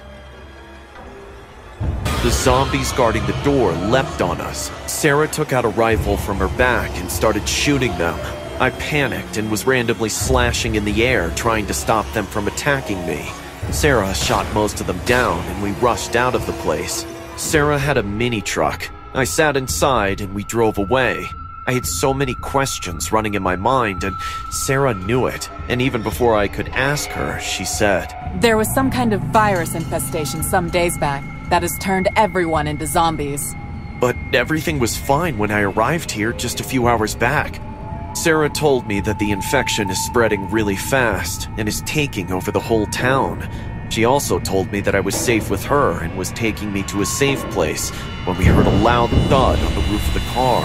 Someone had jumped on the car. Sarah lost control of the car. The car hit the curb, leaped into the air, turned, and landed on the roof. The impact was so severe that it made me had a blackout, and a little while later, when I woke up, I was shocked to see that Sarah was missing. I somehow got out of the car to see that Sarah was surrounded by some zombies and she was fighting them off. I saw the machete on the ground, picked it up, and slashed the zombies that were attacking us.